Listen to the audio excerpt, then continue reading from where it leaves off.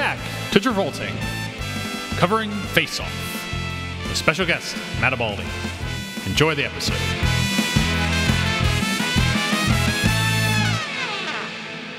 All right, we're recording. All right. So, Jeff, how was your week? Um, my week was uh, pretty good. Um, I had a lovely week with my girlfriend Becca. Um, we sat and watched a couple movies together. Um, Travolta movies, as Yes. you as you know. Um, So, you so you guys watched Face Off and uh, yeah, we watched Face Off. We watched a couple other Travolta movies that you know yourself and Yeah. m- myself will will cover in the future. But uh, great, and you know, working on PD has been you know its own thing as well. Yeah, the, Um, the show I'm the show I'm working on has been long hours. Well, you're working with like you're working in a really cool position though, where you're working with a lot of different stars and folks, right? Yeah, I'm keeping it on the DL uh, for obvious reasons. Yeah, absolutely, as Yeah. you should. You know, it, it's a it's a nice job, but you want to keep it professional, as you should. But anyway, Anyway. Aside, aside from our jobs, Aside from our um, jobs, we're joined today by a very special guest, as you said in the intro. Uh, Matt Abalde's back. hey Matt, good- Hello. good, old friend I've of mine. Returned, I've returned to more bits. Yeah, welcome. Welcome to my uh, original thought. Yes. Um, I am the original creator of this, so- and it's been it's been great having you back. so Matt, you were our first guest on the show back in the old days of Carrie. Oh, Carrie. Oh God, Uh, yeah. you- I the remember how much you of the show. liked uh, John Travolta's hair and Carrie Yes. Stuart. I, it was the best hair in that movie. It's still up near the top of my hair ranking. you know, I, that was like the dawn of our hair ranking report, Mm-hmm. which you started, Yes. and it's really caught on super well. Like how, looking back, Stuart, how how are you? Thing about the hair ranking? Yeah, Well, you know, it started as a bit originally. I wasn't sure if we were going to keep doing it, but I just think it's a fun, like, continual thread to have on this show. yeah, Um, and one we're going to continue today with uh, with taking our faces off. right. Because we are covering Face off. face off. Off. I'd like to take his face off. I like to take his face off. Yeah, Jeff, you're really good at impressions. Uh, I, I, I do my best. it's gonna So- be a tough one. so, uh, Matt, since uh, since the Carrie days, you've had Face Off locked in for a long time. Yes. Uh, and before we dive into anything regarding the movie, I just want to know uh, what was your what was your jumping point to just immediately call Face Off? Because you were one of the first claims for this movie. Uh, I mean, you sent me the list of movies, and I saw that no one had claimed Face Off yet, and I said, "Well, I gotta do Face Off." you really slid right in there in that DM because I Yeah. think like I mean, we had a lot of our early folks who we immediately sent them at the list to. Like I think it was Matt, Adam, um, uh, Mark. Mark, um, Cole, who will have for Pelham one, yeah, two, yeah, three. yeah. We had like our early list, and then we had Yeah. a, some later folks come on that you know when we public you know, publicized that we were doing this podcast, who came Mm-hmm. in later. And I feel like it's those folks that got in the early list had that advantage, but you really snatched up Face Off, and we had a lot of folks come in later who were like, "Well, who's covering Face Off right now?" Mm-hmm. And unfortunately, You had a claim from the start. you had a claim from the start. Yeah. We couldn't drop you. E- Everyone wanted Face Off. Everyone Hairspray. wanted Hairspray, and everyone wanted Wild Hogs. Wild Hogs, uh, we had like five people ask for Wild Hogs. It was crazy. you covered for your dad, Don. yes, uh, my dad will be on that episode. Your dad will be on that episode. We'll be taking a road trip to your hometown, Huntington, yeah. Indiana. Indiana, Indiana. Yeah. It's gonna be a good time. I bet you're really excited for that, Stu. hmm I am. Good. But you know, um, we're glad to have you back, Matt. We're It's, ready. it's it's fantastic to be here. yes. You know. how how do you feel that the show has evolved since your uh, initial appearance? Uh oh man, I mean, second episode. I, I I would say devolve. Whoa! Hold the presses. Okay, put a pause on the on the conversation and let's dig deep into this one. What do you mean by devolve, Matt? uh, you know, at first it was like focus on the film. hmm Hmm. Then that kind of stopped. Are you implying that? if I remember C- C- Carrie, the fever dream that was the Carrie episode, uh, basically the whole thing was just us s- saying the movie. well, we still do a little bit of that. Um, Yeah, we try and build it into discussion though. Yeah. And uh, but then, but then you have someone like Adam Campbell come on. yes, the great Adam Campbell. yeah, for phenomenon. Do, do, do, do, do. and uh, Phenomena. you know, uh, uh, bits start to happen. Are you are you implying the show has bits? The show that, as of right now, is on like a minute what? What does that say? Minute five. Minute five, and we still haven't. Well, you're the engineer, Stu. You should know. yeah. Well, yeah. Um, it was. I turned it the wrong way. Uh, the show, yes, I'm implying that the show has become all bits. the show has never had a bit. We're not doing. We will not have bits. I really do live I- with I- Jack Nicholson. Yes. Uh, you have Jack hey, Nicholson's roommate. you guys, you guys went longer than I thought you would. I thought, I thought the the bit that is this podcast would have ended after like five yeah. episodes. Pe- pe- Five episodes. yeah. Wow. Pe- people thought we weren't gonna make it. really? Yeah, but I think they discounted your commitment, Jeff. I Uh, and I think they discounted your, you know, my ability to, to your ability to be with- sucked in yes. and never be let go, and to always be br- dragged back, clawing and screaming and crying in the middle of the night because you have to watch three John Travolta movies in the morning and then drive to my apartment at 3 p.m. in the afternoon, running on three hours of sleep. And Yeah. man, you, Stu, and you know I'm t- I'm happy to do it. you're so happy to do it, Stu. so happy to do it. You're so excited and thrilled. It's I look forward to it every other week. I enjoy dragging you out of your life into this. Yeah. Stuart, it, it kind of looks like you're taking your face off right now. You're, I mean, Jeff, you look like you're taking your face What'd off. you just right call me? Uh, you know, you know, this movie's about swapping faces, so I was just making a joke about it as if you were Stuart instead of Jeff, which you are. Right. Anyway, face off. uh, Jeff, do you want to dive Face into off. Jeff? Do you want to dive into the context corner on this one? Well, remember our phone call we had last night, Stu, Yeah. where Oh, we yeah. swa- we decided, you know, because we're doing this bit where we're swapping roles, yeah.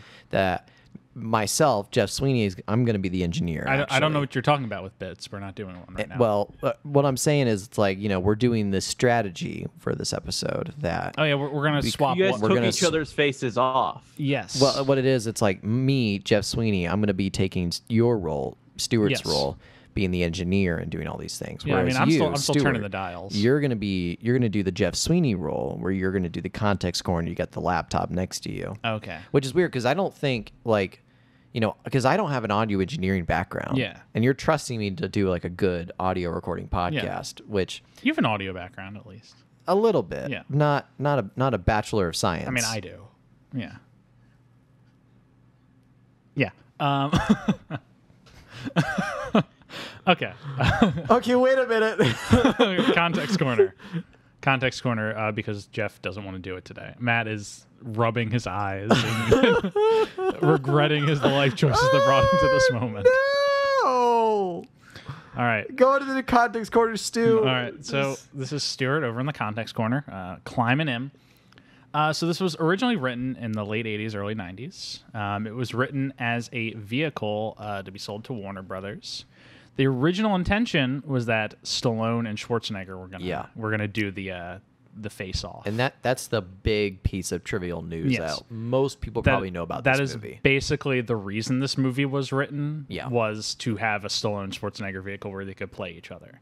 Yeah. Because you know they were beefing throughout the '80s about who could have the bigger box office, who was the bigger action star, and it was, Yeah. it was obviously Schwarzenegger. But, Yeah, uh, no, was. no offense to uh, director of um, our friend. I mean, I, like uh, I, I got some Rocky movies and Rambo. you do the best impressions, um, Jeff. Thank you. But um, it kind of sat on the back burner for a little bit. Um, I'm not sure if those two guys were particularly interested in the movie. They hadn't done a movie together yet. Well, and like, and no offense to them, it's like you know uh, Schwarzenegger and like this is a type of film that requires I won't say like the absolute best actors you can find to pull this off, but it does require a fundamental found foundation of skill. Yeah. And those guys, Travolta and Stallone, like, can you imagine, like, me doing a Stallone accent, doing a Stallone accent, doing a Schwarzenegger Yeah. Stallone impression accent? Like, no, no fucking way. And then you imagine a a Schwarzenegger accent doing the the Stallone accent, like, no, no fucking way. Yes. like, it- E- it- even some of the like dubbing over that they do would just be so hard with both Oh. of them. Yeah. yeah, 'Cause Their, absolutely. their mouths do not move the same. No, they don't. And like no disrespect to Stallone, literally having like a limp part of his face, but he has a very specific way of moving his mouth. Exactly. Yeah. Um, Schwarzenegger has an accent. It would be extremely difficult. I also think, and this is just apocryphal off my assumption, you know, as a steward, uh, that Stallone and Schwarzenegger had really they had really big heads at this time, yeah. And uh, I think it kind of took until the 2000s when they when their stars had cooled off a little bit. Uh, Schwarzenegger had done his run as the governor of California Yeah.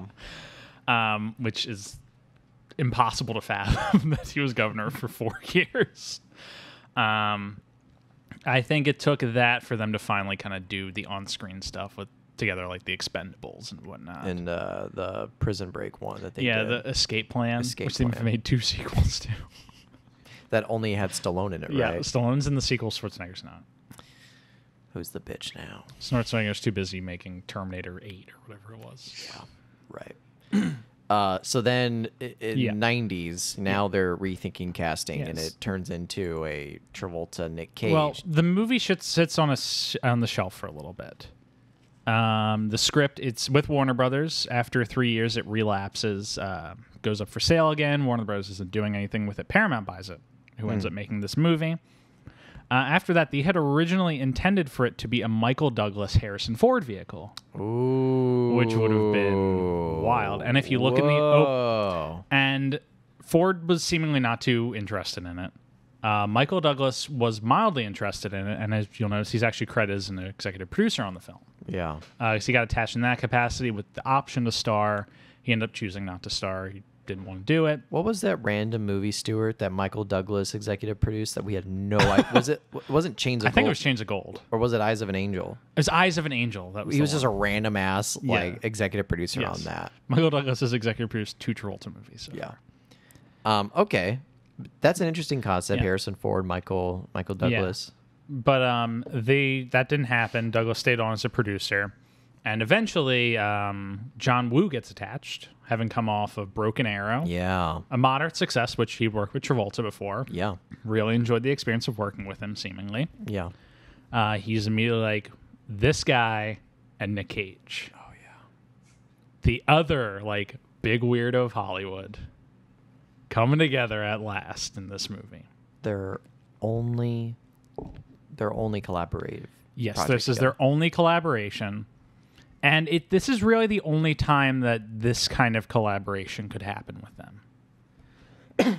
What do you mean by that, Stu? Like um Ed like they could do like they both do fairly like direct to video action movies nowadays. Things that don't have huge budgets.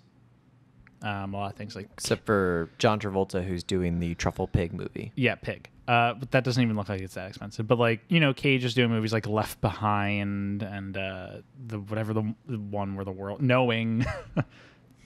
um, and Travolta's doing things like Killing Season and whatnot. These shockingly haven't done a movie together in that vein yet. But they're both in a period right now in the '90s where they're back in the or they're in the limelight. Travolta's coming off his Oscar nomination with Pulp Fiction. He's a certified star again, top billed, A-list talent. At the same time, Nick Cage has just won an Oscar, leaving Las Vegas. Yeah. He's just come off of The Rock as well. He's kind of moving into the action star zone off of like his indie persona he started with. Yeah. Um, and he's making his way into the world of action. He does The Rock and Con Air back to back, followed by this. God, back to back, Rock and Con Air. So they're both they both reestablished themselves in this period in the '90s as action stars. It is fascinating seeing those trajectories do literally come point point together. Yes, this is the only period of time where a movie with this high of a budget, um, this relative gumption to it, uh, could happen with these two guys. Um, the one pe- the one period of time where Nick Cage and John Travolta were A-list stars who could sell a movie together and make like four times its budget. Yeah. Yes. And that's the context And that- corner. that is the context corner. They do this movie. Um, it's a huge success, which we'll talk about at the end. yeah. But we can just dive right into the movie. any uh any pretext, context, thoughts, Matt? Matt, um, what, before what's we your dive history? in. What's your history with this movie? I mean, I I I I- love me some John Woo. You know, Of course. Mi two is is the greatest Mission Impossible. Mm-hmm. And that's Um, interesting take. interesting take. Uh, I mean, it's it's one of those films that is just like a cult classic. You know. Uh, I hadn't seen it before You had not seen it. I'm I'm uncultured swine. You this is your first time seeing Face Off? that is correct. it is also my first time seeing Face Off. Really? Believe it or not. Really? I I had sent uh uh Jeff, I had sent you uh it, the the I believe the two I've only seen two uh, Travolta movies. Mhm. It had been Carrie and Wild Hogs. I have not seen any other Travolta movie. What is it with Wild Hogs? What is it with this movie? I saw Wild Hogs on a plane when I was like 8. That's a, that's the perfect description of the kind of movie Wild Hogs is. I saw it hmm. on a plane when I was eight years old. Before It's you know you fever could dream. select yeah. before you could select the movie you wanted to Yeah. watch, it was just like Playing. They, the the screens fold down and it's just what's playing is playing. yeah. Yeah.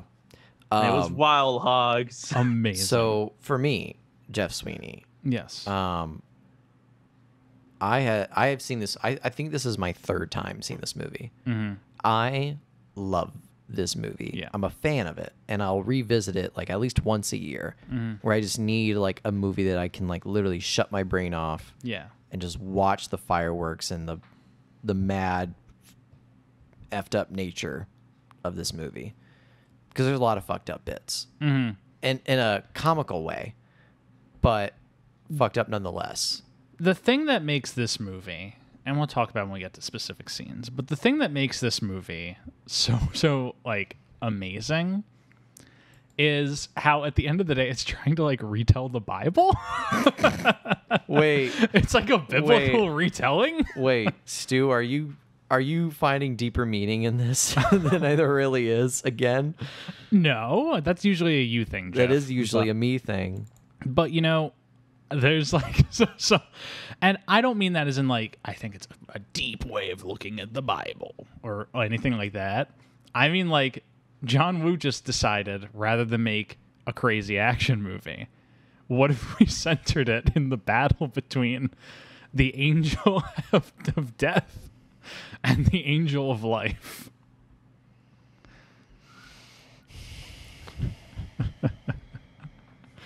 i'm looking at you matt that that that one time when they take subtext and put it as the text, but it's so so in there that you think it's subtext again. yeah it, it comes right back around at you Yeah. well the one of, it, it- you could you could i mean i i can understand that like like i get that like thinking about it with that in mind like Mhm. you can see that within the film for sure Stuart, are you gonna do a 180 where where a couple weeks ago I talked about how phenomenon was the Jesus story? Now you're gonna talk about how this is the Jesus story. I'm not gonna say necessarily the Jesus story. I, I mean less like the specific stories of the Bible, more the overall text, as like the the battle of good and evil in a biblical sense. It, it begins and ends in a church. Uh, Okay. We'll get into it as we talk about the movie. I mean, it begins and ends, and I mean, It begins in a church, Begins or it in a- begins in a convention center begins where in there a- is a church happening. begins in a carousel and ends in a house. if you want to get real technical about it. that, that's true if, if you want to get really technical, Yeah. But, you the know- opening scene is a carousel. Jeff, you're usually ready to go along with these kind of things, so I'm just gonna assume that this is a weird uh, thing you're doing right now. How long are we gonna do this for? Do what? uh, nothing. So anyway, um, Um, let's just dive right in. yeah, let's dive in. All right. So the opening scene, we get this. It's already the most extra thing ever. Yes. uh, it's this title credit scene that flashes in within text Hmm. and flashes in within like this like blurry motion of like a flashback sequence. And already you can tell that John Woo had a fair bit of freedom in this movie. Yes. He it, he has said that this is the only Hollywood movie he made where he had absolute freedom. Yeah. No, not a lot of studio interference into it at all. Partially, benef- his Travolta and Cage were kind of beneficiaries of that, kind of protecting him from that because they believed in the project as well. Yeah. But uh, you can tell right from this that John Woo absolutely had no studio interference. Uh, as it flashes between a carousel and John Travolta holding his son the carousel, Nick Cage with a huge mustache and a sniper rifle. A huge mustache. uh, Stuart, how are you going to be doing the hair ranking today, given the conundrum with the face off, with the switch? Uh, this is going to be a difficult one, but believe you me, I, I have it. I have it. I have it down. I'm so excited to hear what you, Stuart Yes. Elmore's hair ranking Yes, for I'm this gonna I gonna have. I have a hair 'Cause ranking. you, Stuart, as always, are going to lead this hair ranking. yes, We're as, not switching as it up. always. I We're will, not switching it up. It's not going to be me, Jeff. It's still going to be you, Stuart. Yes, I will be doing the hair ranking. Why do you doubt me? I'm not doubting I said I'm going to do it. I'm just really excited to hear what it's going to be. I'm going to do the hair ranking. Okay, so yeah, carousel. Um, John Travolta and his son, they're on the carousel. Yes, Nick his Cage, son Mike, Michael, Mikey, little Mikey, Mikey, Ubriaco. Mikey Bracchio From is Look Who's. Talking.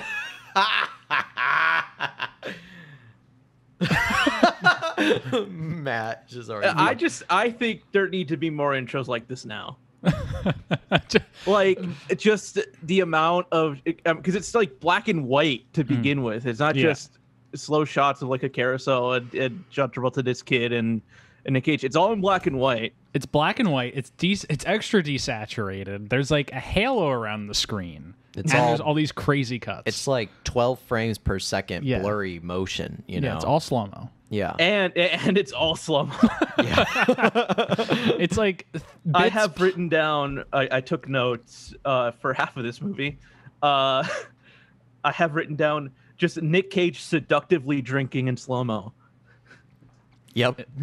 Yeah, th- th- that is, you know, I saw that and I was like, ah, this is this is exactly what we need Yes. in in 2021. This this will get people back in theaters. this is what we need to bring theaters back This is absolutely what we need to do. to screen. Fa- There's so many times, Jeff. It is to my understanding you watched this with your girlfriend, Yeah. and she was telling me that throughout the movie you kept looking at her and saying, "Why isn't every movie like this?" Yeah, and honestly, I had that thought because like if every movie had this intro, I mean, we wouldn't have to worry about the, the movie theater Yes. industry anymore. Yeah. People would flock to the theaters in droves. Mm-hmm. And well, it's like, you know, this Star Wars crawl, you know, it's Yeah. like I prefer this over a Star Wars crawl. yeah, absolutely. We, we talked. You know, like like if you go and sit down like a, to watch a Star Wars movie, you gotta read, so fucking lame. and it's like with with this, they take the time to make sure you understand what's happening. You understand the stakes of this movie very quickly. yeah, Yeah. It's that right away. and the stakes are that such that that Nick Cage has a sniper rifle. Yes. he's a bad guy. he's trying to kill Sean. He's uh, Sean his name is Archer Castor uh, Troy. Castor Troy. is Nick Cage's character. Is character. Nick Cage. Yes, but he's Uh, also John Travolta's character. But we'll get into that. We'll get into that. Uh, whereas Wait, John can, I, can, I, can I just character- really quickly say, if you guys rent this from Prime Video, if you ever rent some from Prime and you pause the movie and it has like the little uh, X-ray thing at the bottom of the Yeah. screen where it lists the cast. Halfway through this movie, it switches the two of them. No, it does Yes. No, if you start, if you- like I started the movie and I paused and it said like John Travolta, Sean Archer, Nick Cage, Casper Troy. Halfway the through the movie, if you pause it again, it says John Travolta, Casper Troy, Nick Cage, Sean Archer. Get the fuck out of here. I love that. It's so fuck. It's so, so funny. much. But so But- Nick Cage gets a sniper rifle. Uh, Castor Troy gets a sniper rifle. Yeah. Shoots Sean Archer, but it goes through FBI his agent. shoulder. FBI Sean agent. Archer. Yes, it goes through his top shoulder FBI agent. into his son Mikey's heart. Yes. John, uh, Sean, and Mikey all fall off the carousel. Sean's still alive, crawling to his dead son. Yes. holding him in his arms. Grabs him and screams. fade to Uh, black. and here comes my second note. Uh, that kid is bad at acting uh, as acting dead. Uh, uh, you would think with the way they shot it, because they don't show his face Yeah. when when he's dead. You would think that they would have used like a mannequin or something, Mm. but no. You could tell it's the kid because he moves his arm in slow mo. He's just like, I'm John Travolta dead. goes to like hold his son and in doing so bends his arm awkwardly, so he like readjusts it to like grab onto John Travolta's arm. Have you ever seen the orc in Lord of the Rings that gets back up after being killed?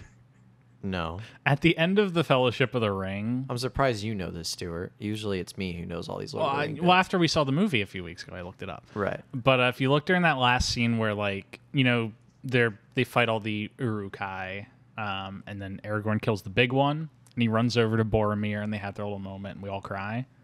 Um, when he's running over there, you can see an orc like really heavy, heavy in the foreground, like get up, look, and then lay back down, like he thought that the, they had cut the roll and wanted to check and see if he could get up.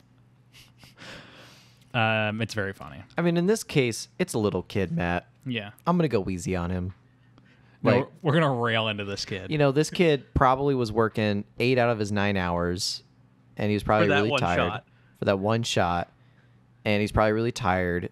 You know, he got his meal in five hours in, and then he was working for three more mm-hmm. hours and just got a little tired. You know, he was just ready to go home. you know. And the kid probably spent how many hours in the makeup chair to get him all bloodied up and all that stuff? A few hours. Yeah. So like, go, fuck you, Matt. Anyway, so cut to black. Cut to black. Six years later. End game style. End game style. It's like six years later. Yeah. Um, we immediately pick up with FBI agent John Sean Archer. Sean Archer in the office. Travolta's doing a weird accent.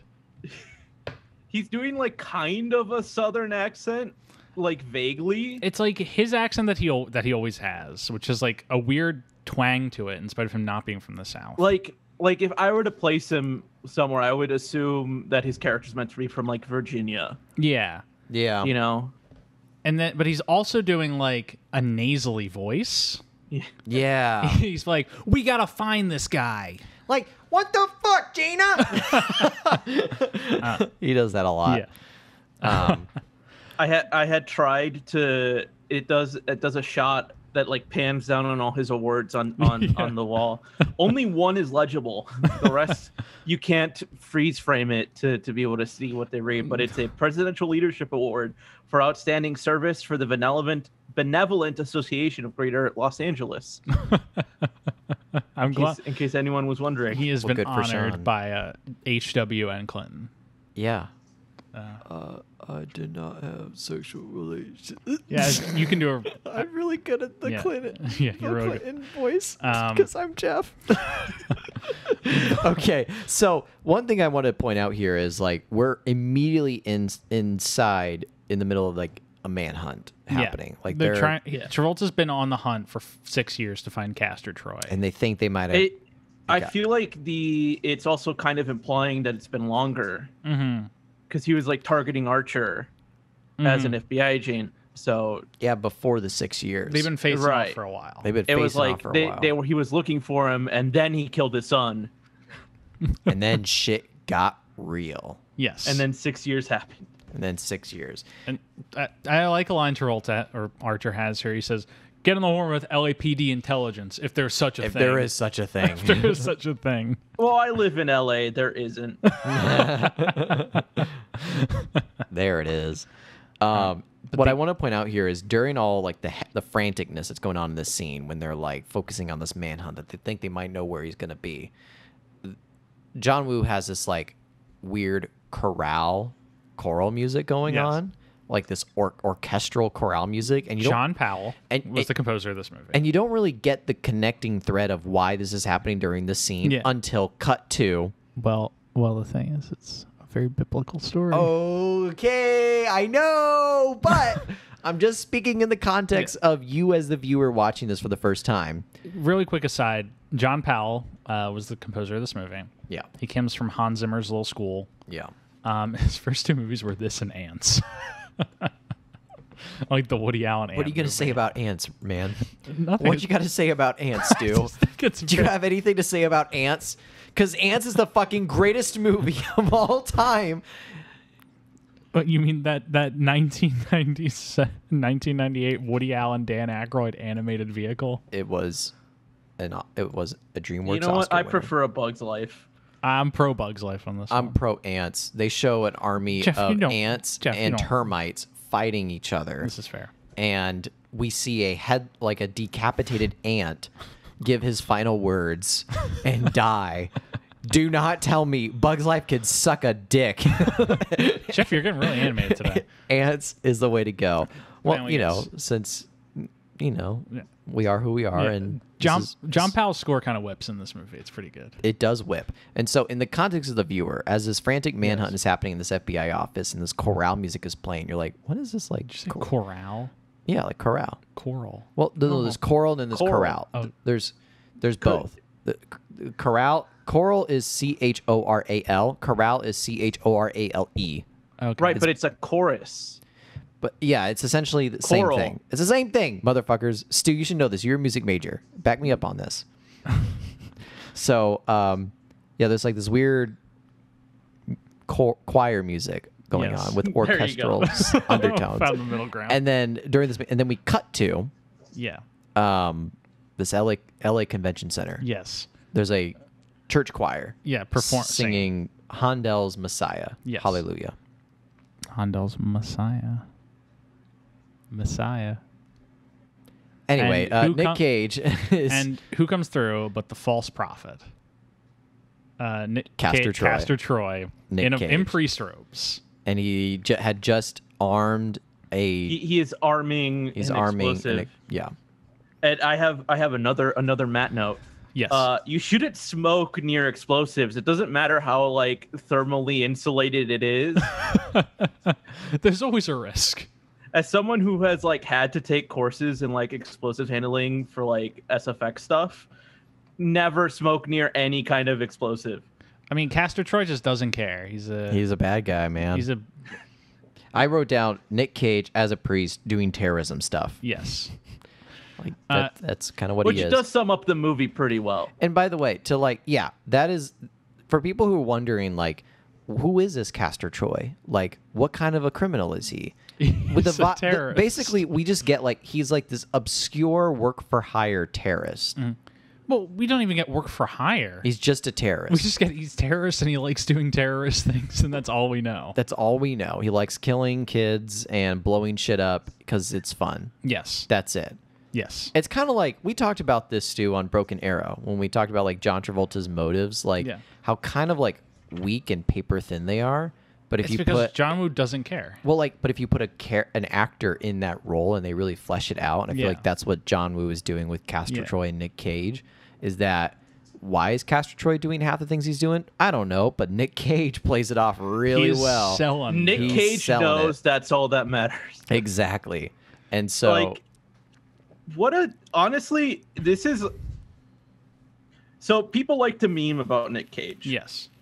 Uh, for good good reasons but wait, wait a minute. People like to meme about Nick Cage. uh, What? jeff has just put up a uh, uh, a a uh, pillow of nick cage That says, "Despite all my rage, I am still just Nicolas Cage." Jeff, that's a good build. I'm glad- so glad please had tell me more about how much we like to meme about Nick Cage. Continue, so Matt. nick, nick cage likes to be memed about but this movie is honestly like if if you're an aspiring actor this movie is not a bad place to start to be like what movie should i watch as an aspiring actor Nick Cage is this is a showcase of his talents. yes. Yeah. This- More this- so this- than Travolta. This isn't something john like woo john woo basically went what is nick cage really good at let's play up to that Yes. let's just play to nick cage's strengths and just like ignore any weaknesses he has and even at that, Nick Cage both of them get to deliver two separate performances in this movie. yeah. And Nick Cage is really selling both of them. Well, the thing is, what's what I think it's. I mean, this John Travolta's top build in this, and Yes. then Nick Cage. Yes. which is kind of reversed for me because mm-hmm. Nick Cage has a lot of the legwork in this movie. Yes. Uh, John Travolta plays his good guy vo- version in the first like what twenty minutes of the Something film, like that. and you know he he gets to like lay the groundwork for how we get to see this character act, and then we see Nick Cage laying the groundwork for how his Castor Troy Yeah. acts, and you know there is a little bit of effort that John Travolta has to put into like the Castor Troy element, Yeah. but here's the thing they both have to act like the other person that they are faced off as. Meaning, Yeah. Nick Cage, who when he is Sean Archer, but Nick Cage, Yes. pretend, but he has to pretend to be Castor Troy. yes. That acting element of him pretending to be this cool dude, act crazy, Yeah. Nick Cage can do. John Travolta, who has to pretend to be this crazy dude, act normal, John Travolta can really do. But who has the more of the legwork to pull off? It's the guy who has to play the normal dude pretending to be a crazy dude. And that's where you get Nick Cage's antics, Yeah. regardless of whether he's the Castor Troy or Sean Archer. Yeah. Because when it's Nick Cage's Sean Archer, he has to do the crazy Castor The- Troy franticness. Yes, exactly. Whereas like John Travolta acts as the cool, smooth, like hero cop, and then he acts as like, oh, I'm the bad guy, but I got to Yeah. pretend to be the cool cop. Not not much like work. Yes. So with all respect, they are both doing good performances, but Nick Cage, Nick Cage is- without a doubt has the Has like. has the most uh, to pull, Yes, and he's pulling it. he is pulling it. He's really pulling it. For And this our first our first bit to show that he's pulling it is, is the way he walks out in is that the way he drum. walks out on that first goddamn scene, He just comes out and he just starts like twerking his Twerk head. Go, his going head. straight for how the music go, like he just hears the beat and is like, "All right, we're we're on this." Yeah, he's Yep. in- and then he walk and then he walks, Walks up to the up to this chorus. He- choir well, he struts up to the chorus dancing, yeah, and one of the chorus girls drops uh, her Wait, sheet you, you forgot you forgot Nick Cage headbanging to choir music. yes, Ha- yeah, headbanging to Handel's Messiah, Hallelujah. he, he comes up to that uh, to that choir girl, and he grabs the paperwork and his I presume the activation code's on it.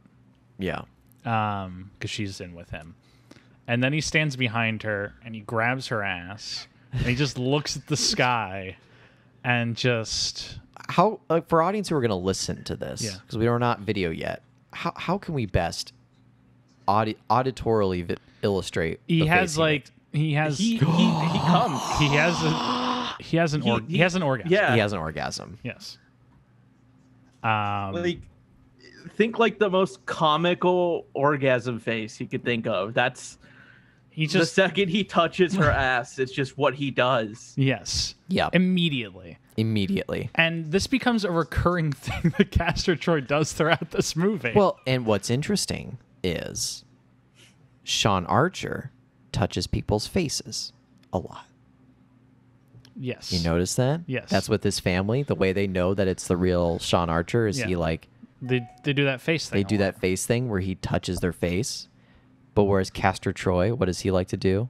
is he, He likes to grab people's asses. yes Opposite ends of the spectrum. Yes. An Good ass and evil. grabber or a Angel face of grabber. life, angel of death. Yeah. What am I saying? And what am I saying? What are you saying? What am I saying? saying? What do you say it's to? Um. Anyway, so he he struts out.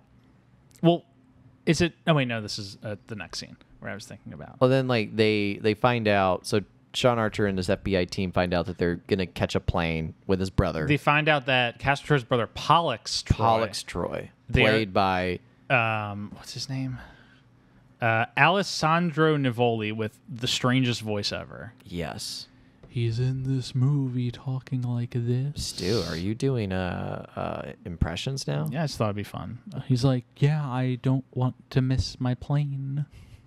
It's very strange, but um, he, uh, they catch that he's ca- his brother's catching a flight, uh, and they assume that Castor will be aboard the plane. So the entire LAPD seemingly goes to ca- catch this uh, this jet. Yeah. Meanwhile, Castor Troy gets on this plane Yes, and Stu. Do you want to illustrate us the scene that's about to happen? where he grabs the flight attendant. Yeah. or we, who we think is the flight attendant.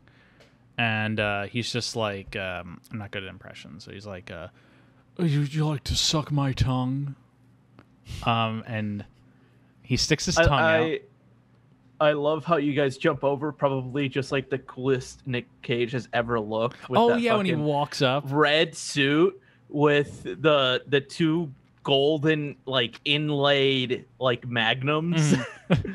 I, I just think on his back. this is a two-hour, eighteen-minute movie. It is conceivable this would be an hour and forty-five minutes if you made all the slow mo go at regular speed. Yeah. Oh, I I think this is a like this is a short film.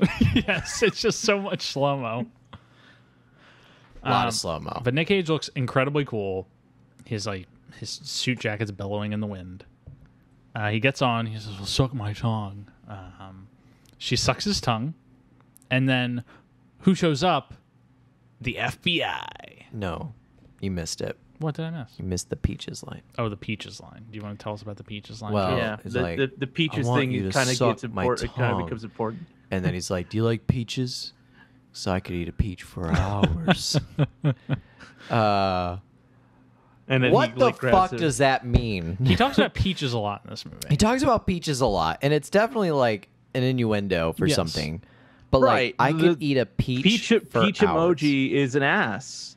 so Yeah. he can eat an ass for hours. He clearly has a lot to do. He clearly has a lot of interest in asses. and eating them Castor Troy eats ass.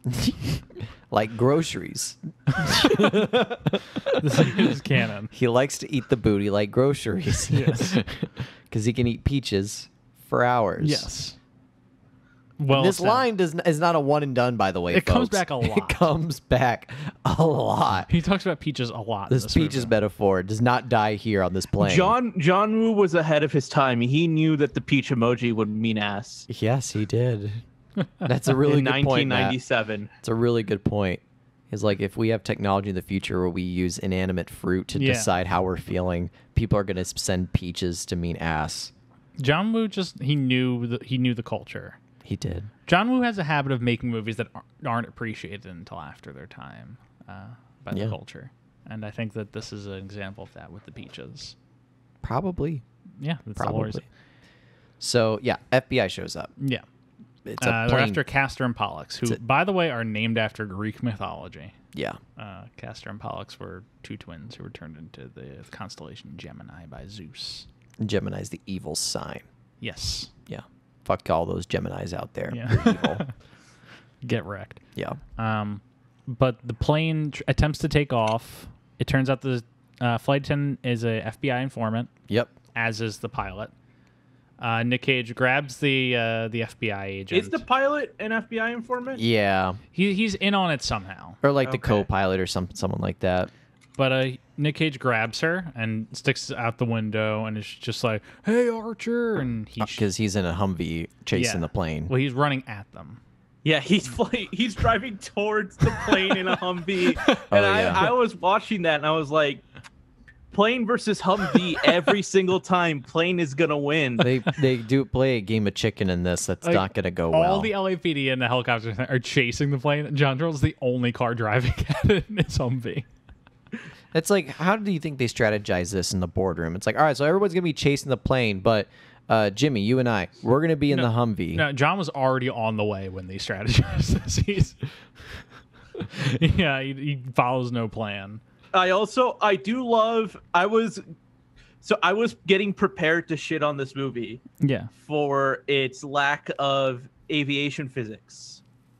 lack. because I was convinced watching it that because the Humvee keeps getting closer and closer, Yeah. right, to the, to the front of the plane, and I was convinced they were gonna have them take off like on a dime, yeah, you know, which you need space to be able to take off. You can't take off. at like 20 mph. I've played Right, uh, Microsoft not just that, like it. Uh, you need space to be able to get the height to be able to pass over the Humvee. You can't Yeah. like as close as the Humvee was, they weren't gonna clear it. Mhm. And uh, they- uh, and I was getting so ready to be like, man, John Woo doesn't understand physics, but he does. but uh, but he does because the Humvee veers out of the way from the plane because plane versus Humvee, plane wins. and the pilot's like, I can't take off in this distance. yeah. And by by the way, there's no CG in this scene as near as I could tell. Like this is a real plane with real helicopters flying around it and real cars chasing it. in a real Uh, helicopter. there's definitely some keying in of Nick Cage in Yes. and and and, Tr- and John Travolta into the scene. Yes, But yeah, like everything is happening. everything like every plate on there has been shot practically. Yes. thing. I I wrote this down that the SFX of this movie is fucking Insane. out of this Yeah. world. Like from the big explosive sequences to like the small like surgical sequences, like the SFX in this is like Very impressive. just fucking amazing in this. Like Um, I had actually. I'll, I'll save this question for for when we actually get to that scene. The I surgery gonna- scene? Yeah. okay, well so I, I have I have a question about the surgery scene. um, Castor Troy in front of Sean Archer kills one of the, the Yeah. undercover agents that were is in the plane. and then he kills the pilot after Travolta shoots the engine out and they can't take off. Because Travolta gets on a helicopter instead of the Humvee. yeah, Travolta gets on the helicopter. and so he's Tom cruising through Yes. on this helicopter and he's like slamming the the like the flaps Yeah. shut so they can't get any lift. Traction. And so like the plane can't take off. He shoots an engine out so they can't take off. And again, this is the Also, Fast and uh, uh, Furious problem where they don't have like they seem to have unlimited runway here. Yes. um That but Runway Uh, in Fast Six is back so funny. back to me shitting on John Woo for not understanding play, uh, aviation physics. Uh, a single bullet wouldn't take out an engine that quickly. but it would f- in the it li- would in the sure- world of this movie, it, It would for sure take out an engine, but it would be damage that happens like over time. Yeah, they would be in the middle of the air and then the engine would fail. Yeah, basically. I like that for all of the physics defying in this movie. The one that gets you is the bullet in the engine. it's Stu, the, what the to your hand, by the aviation way? stuff. I dropped and then uh also that helicopter should have crashed into that plane. But it didn't. It, It- just shut its flap. It, sh- yeah, it, did. shut It just shut the its wing flap. flap. And Uh, uh, uh, but no to more any questions, FBI Matt. agents listening to this, uh, don't attempt that move. You will crash the helicopter into that plane. it will immediately explode. I, I think you got to stop asking questions, Matt. I think it totally works. I think it absolutely, you know, is within the laws But of physics. because the plane can't take off, Castor turns it into a hangar and crashes it into it. yep, I would like to say, last year the motion picture Tenet came out. Uh, Christopher Nolan. Um, Jeff, I don't know if you saw that movie. I did. Yeah, Did you there's- see that movie? Uh, I don't. I can't remember. I did. I, did. I think you may have, but Yeah, you I saw probably it. didn't get through the entire film. I saw. I didn't finish it though, but I got through this scene. Yeah. Um, I Stuart got through this scene. Um, where the Nolan got a lot of praise because he crashed a plane into a hangar, 747 a real into a plane. Yep. Just like to point out, twenty years earlier, John Woo had him beat. Yep. Uh, the, the difference is that that was a 747 versus This was like a smaller like a- private jet.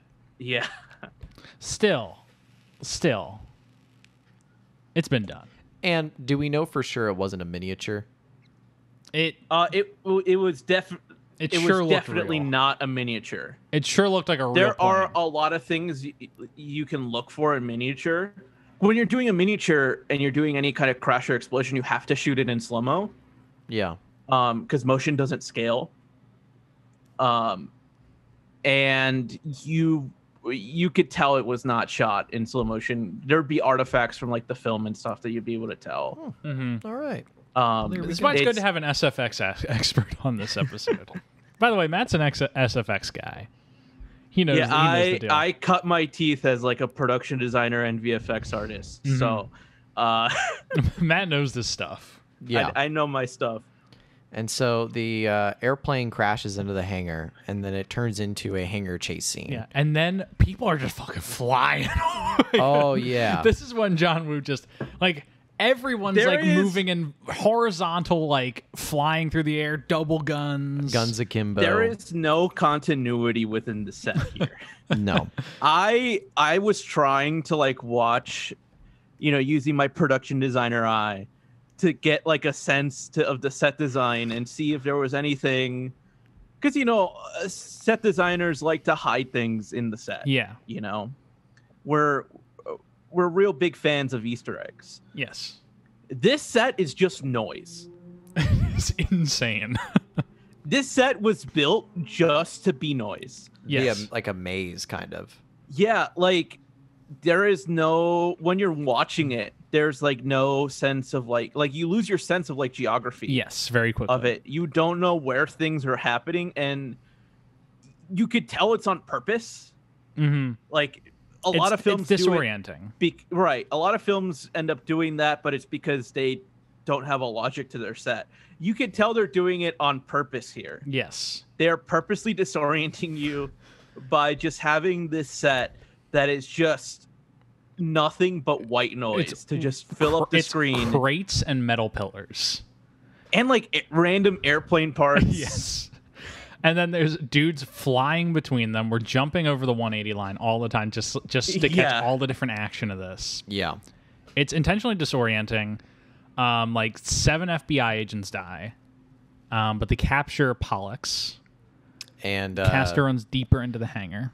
with Sean Archer chasing behind. Yes, and they're both shooting guns akimbo at each other, and no one's Yeah. hitting anything. Yeah. Uh, till eventually, um, like a turbine engine Yes. turns on. Um, Sean and Castor are fighting in a sen- in a way that where like Castor gets in the way of the turbine engine turning on, and it blasts him back he gets blasted like Into, a hundred like, feet a- into a metal like sheet. a metal sheet and isn't like disintegrated. yes, He's fine. I mean, they But he hits his head and goes into a coma. There's your realism. right. Yeah. So There's your realism, Jeff. Castor And then- Troy gets caught. yeah. Um, one of the agents, uh, Sean Archer's best friend. Um, what's his name? They lost a lot of agents that day. I, I did. Tito. His friend's Tito. Yeah. Um, tired, Stuart? a little bit. Um, but he, he, he gra- it's like Elvis has left the building, and they take uh, uh, Castor's body. Yeah. And And, then- John Travolta or uh, Sean Archer then walks into the FBI office and they're all clapping Yeah. for him. And rightfully so. I actually kind of like this scene Yeah. because he's sort of like not Yeah, he's not into it. he's not into it. He's like, my son died. I, I wasted like seven years of my life chasing this man. and we lost like eight agents today. Like and he's like, someone's like, the CIA sent you this bottle of champagne, and he's like, send it back. And he's like, no, wait, pour this one out for those agents Yeah. who died, and he lists them all. and it's like, oh, good guy Sean. Yeah, and he's like, I'm leaving active duty now Yeah. because I'm compromising my family. And then yeah. He goes back home to his family. uh, his wife, played by Joan Allen, Yep. insanely overqualified for this role. Yeah, very much so. I am uh, extremely into movies when extremely overqualified like actors or actresses play like small so it's like not small Just but the wife role. yeah just like the wife or husband role most often the wife role um, because hollywood's a little sexist Hollywood is broken. yes hollywood is broken, Broken. as you do jeff Yeah. um, yeah she's insanely overqualified for this role and she plays it extremely well Yeah. um, he has a daughter, Jamie, jamie who is not Jamie Lynn Spears, although she looks like Jamie Lynn Spears from Yeah. 1997. a little bit. Um, but she's uh, Dominique Swain from um, what's the thing called? Uh, I'm not sure. I can't remember. Um, but she, um, yeah, his his family's a little broken as well. Yeah. Uh, his wife and him are distant just because he spent all his time trying to find Castor um, after the loss of their son. The daughter is um, rebelling against her family. She like dresses very goth. She smokes a lot. Um, is into like alternative music, uh, just to rebel against her parents. Mm-hmm. Um, and he's like, he grabs his wife and he's like, "We got him." And they hug, and he's like, "I'm done with active duty. I'm going to commit all my time to my family now." Right. Cut two. next day. Who comes in the office?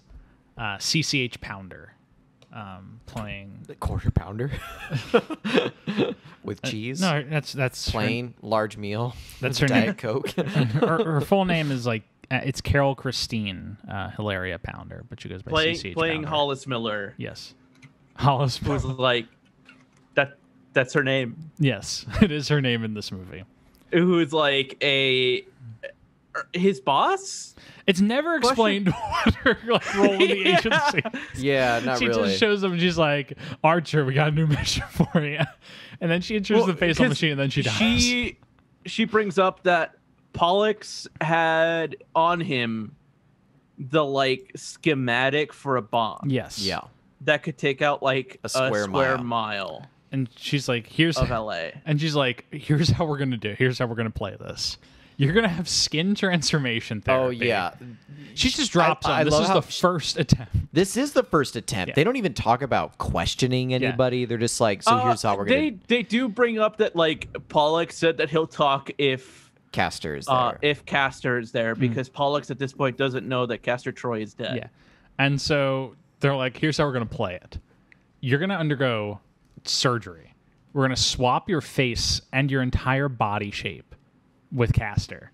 yeah, You will then go into the room with him and say, hey, you can say talk. we're gonna get rid of those love handles. Yeah. Get rid of those love handles. We're gonna recede your hairline. It's like, how can we make John Travolta? Also, so when they're explaining the surgery, jumping a little bit, I guess they they talk about adding to Travolta's like facial structure to create like a Nicolas Cage face. Yes. yeah, But Nicolas Cage's face is smaller than John Travolta's face. yeah, because they say like we're gonna put this like mask on that's gonna have like the bone structure of Nicolas Cage. I'm like, wouldn't it just be like a Nick Cage plus Travolta skull?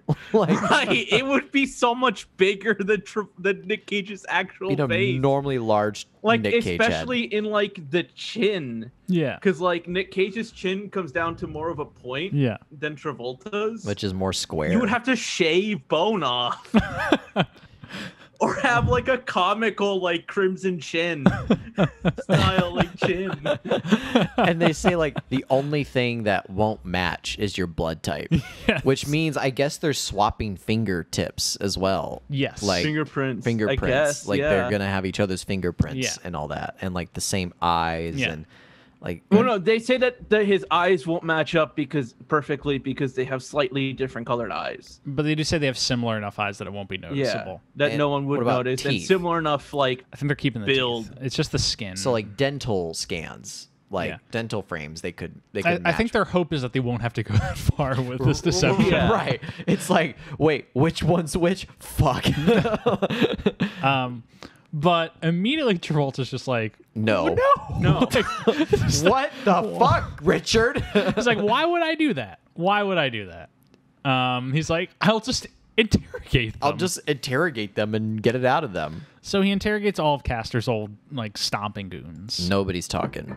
Uh, he talks to Sasha, who's played by Gina Gershon, and uh, her brother uh, Dietrich, who's played by Nick Cassavetes. the director of Jeff What Film? She's so lovely. Yeah, that's right. The director of the film we covered last week, It's uh by the ep- to- date we are recording this, it'll come out. a week ago, or it's coming. no, the date we are recording. oh, recording. it's coming out tomorrow night. two two days. Tuesday. Yeah, tomorrow night, Tuesday morning. Yeah. When does this come out? I'm so, uh, In a sorry, week- I just a- thought a- about it. Uh, not this upcoming, not tomorrow, but the Monday night following. Okay. Yeah. Um, so you folks just got a little scoop about when we're recording this. Yeah, we're recording this on um August 8th. Yes. It'll come out um not August 10th, but August 17th, Yes. Tuesday at midnight. I can't wait till like pre-recording these like bites you guys in the ass somehow. Where in one of the episodes we're like, ah, yeah, isn't it great to have this actor in the movie? And then they have like allegations against them. In the Oh movie. god. yeah. How, Or, talk like, about how a movie gets canceled and Yeah. we just like gave it so much praise. I mean, Or like, what if what if Nick Cage dies between now and the airing of this episode? and we're just like, oh, this fucking guy. I mean, we're I'm We're- giving we're him nothing him- but we're giving him compliments. I'm giving him nothing. I mean, but no, he's he's great, but it's it's one of those things Yeah. where well, uh, you know. Matt, we will say when we did the Pulp Fiction episode, Yeah. we released it, and I shit you not, was it the same day or the day later? Joe Rogan had an interview with Quentin Tarantino where he said not so flattering things about Uh, Bruce Lee's daughter. Bruce Lee's daughter And Bruce Yep. Lee. and Bruce Lee, and it got a little bit of traction and fire. And we had literally just released our Pulp Fiction episode where we had praised the genius of Quentin Tarantino. so we've kind of tripped over some of these landmines before. Um, we haven't been canceled yet. we, we're, we're, we're trying our best. We're trying our best here. We have talked a lot about Scientology. yes. They're coming for us. That that that might bite us in the ass. Oh, there's there's might bite- a, that might bite there's me a, in the there's a. Scientology Yeah. building like down the street from my new apartment. yeah, they're well, they're they're coming for you. Sorry to let you know. Yeah. They heard you're on this podcast.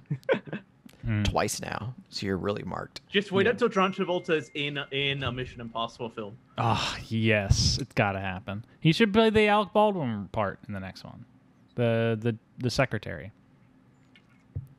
Yeah. I, I think it kind of rules that every Mission Impossible movie has a different secretary.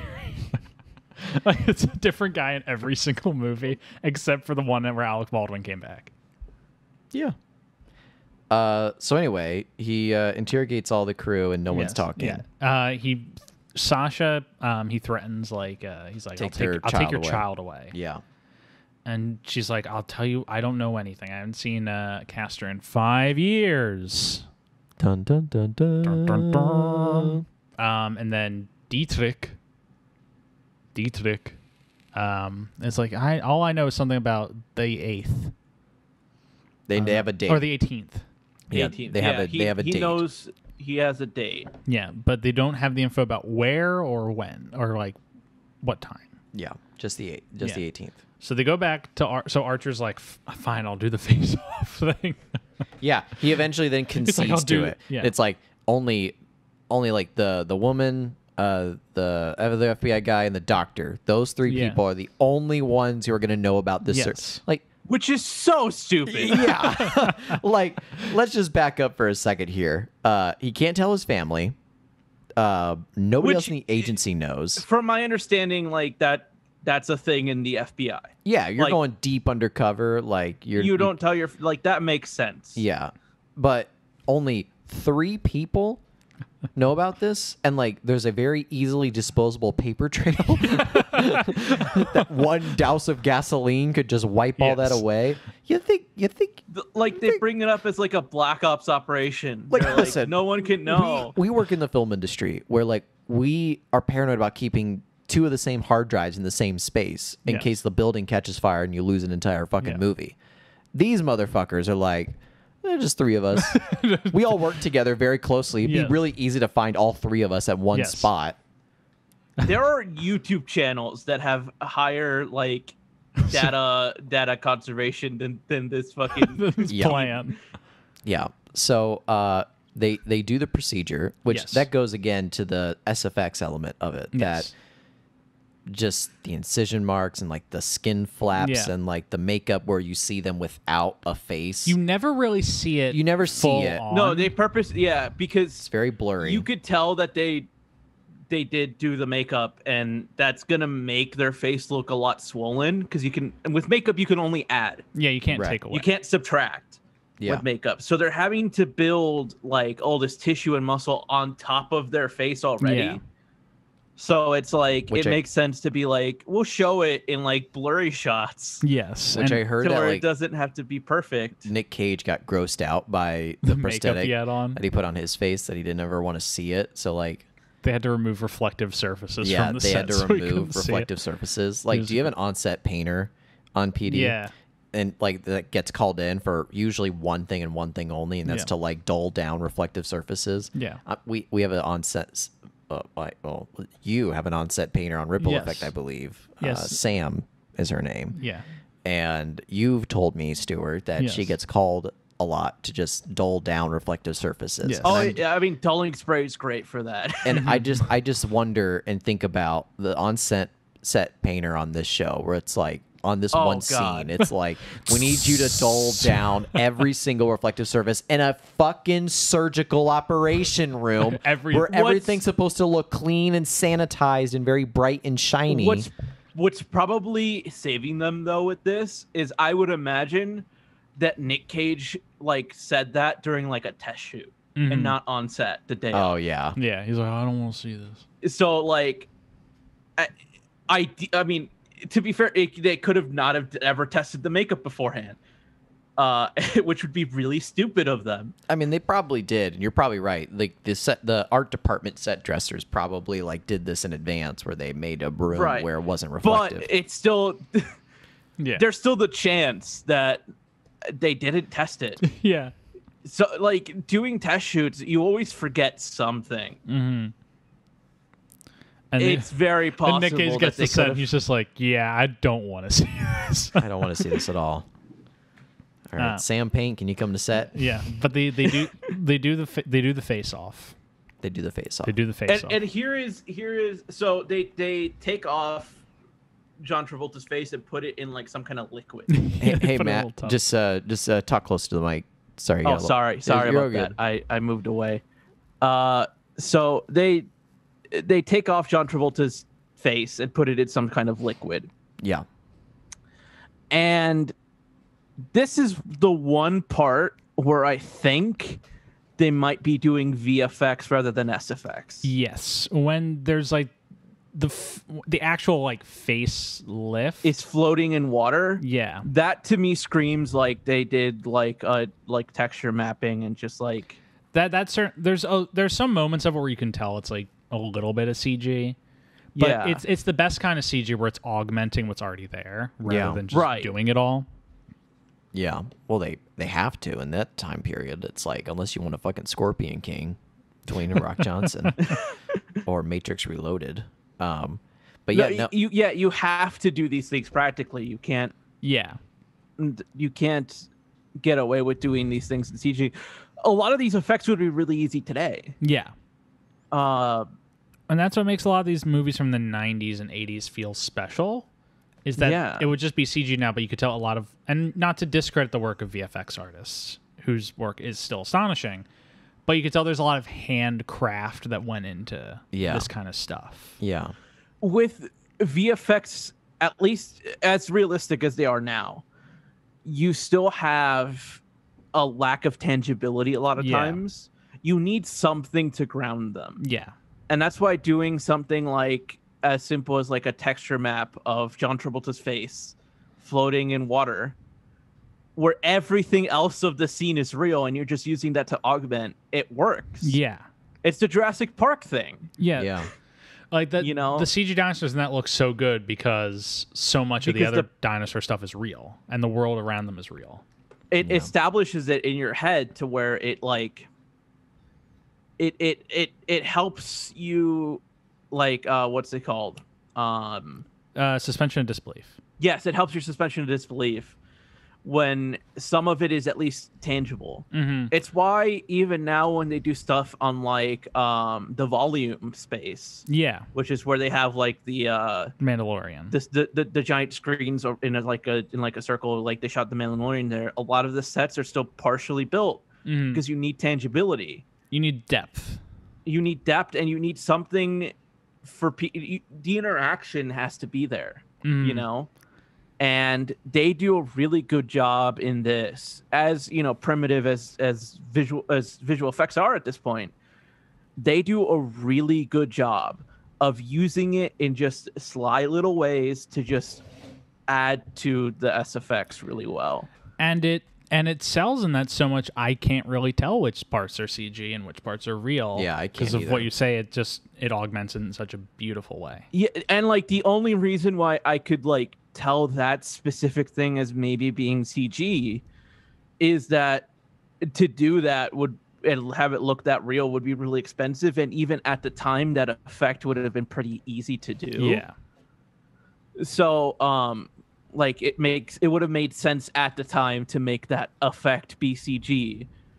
hmm But there's like nothing else that they have here that really would make sense to BCG. So it's like The- you know, this scene just in so many ways is very impressive. yes. Yeah. And it, and it has all the John Woo flourishes you know we love, like quick cuts and slow mo. my one thing Yes, that I have to ask, Stu, what fucking year is it in this world? uh, 1996 Is I- it? I or 19, think it does- 1997 I think it does take place in 97. So- they have beepers because his his son's grave says 1991 and it's established he had died six yeah, years and it's 6 years forward. so in 1997, they had the face off machine. the face-off procedure. They also had the the futuristic prison with the boots. yes.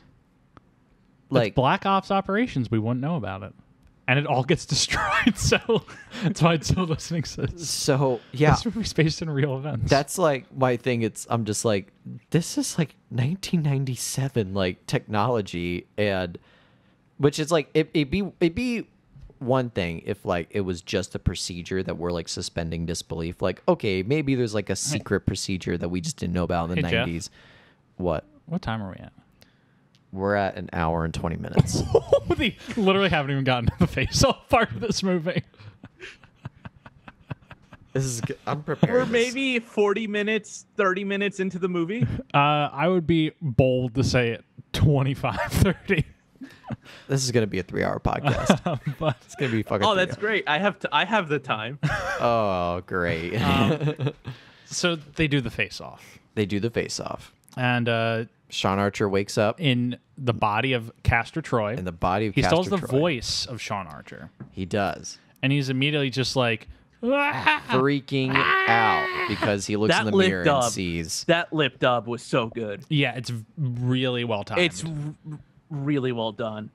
Um, I don't know if does anyone know if they did the the lines as ADR or if they'd like I'm sure it did the had to be lines and had Nick Cage mouth to the lines. No, it had to be ADR. Yeah, I would like assume they were. ADR. Pro- it was probably like Nick Cage delivering the lines on set, um, and then they just like dubbed it. Had Travolta like Yeah, match it. match it in post. it, they it is said that they uh, they spent two weeks prior to this movie uh, Just studying each other, yeah. just together studying each other so that they could get this Yeah, so well. Each other's like patterns of speaking and ways of walking yeah, because they do really sell the transformation. The two of them. Oh, it's really so do. good. yeah. Nick Cage, especially the Nick Nick Cage as as uh, Sean Archer. Sean Archer as Castor Troy. like Yes. his mannerisms immediately like shift. shift the way that he speaks once they they fix his voice to, to sound like that of, of of Castor Troy his like diction and like it, it just matches what John Travolta had been doing the whole time so Hmm. well It feels like a, a continuation of the same character rather than a new actor playing a Yeah. role, Right. which is a really hard thing to pull off. Absolutely. Like even when movies cast younger versions of the same character, I can oftentimes have difficulty trying to like reconcile those versions. because it just seems like it's it's not the younger Yeah. version of a character. It's a younger actor it's a playing different that actor yeah. Yeah. playing that character. Like one the few times it's ever really worked for me was like Ewan McGregor's young Obi-Wan Kenobi that feels like a continuation of the Alec Guinness role. I would say um, Moonlight does it pretty well. Moonlight does it very well. Yeah, Moonlight, I, and I think that's mostly on Barry Jenkins and not so much, with all much respect to the three actors. I think it was like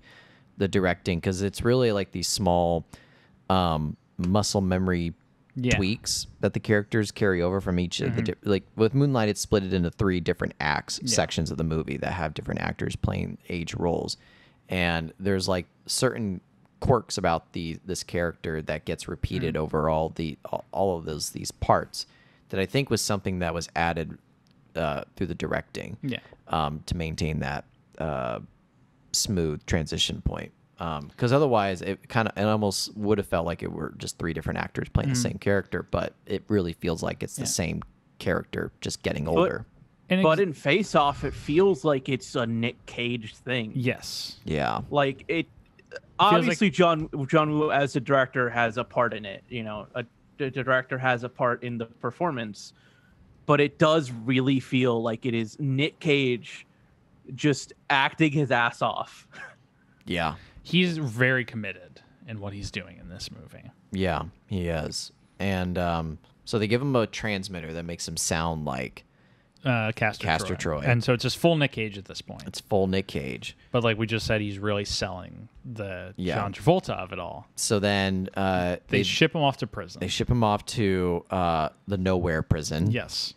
which is another Avengers uh, Yeah. thing It's like a an oil refinery. with Yeah. The prison built under the ocean. With these magnetic metal boots Yes. that they just turn on and your feet are stuck to the floor. Yes. Like, how many ankles break in this fucking prison? Because you're just walking and all of a sudden you can't lift up your feet. But uh, John Carroll Lynch is the uh, Yeah. the like head the Zodiac guard. killer himself. the Zodiac killer himself. Um, I love that man. Uh, he just comes out and he's like, this is a black ops prison.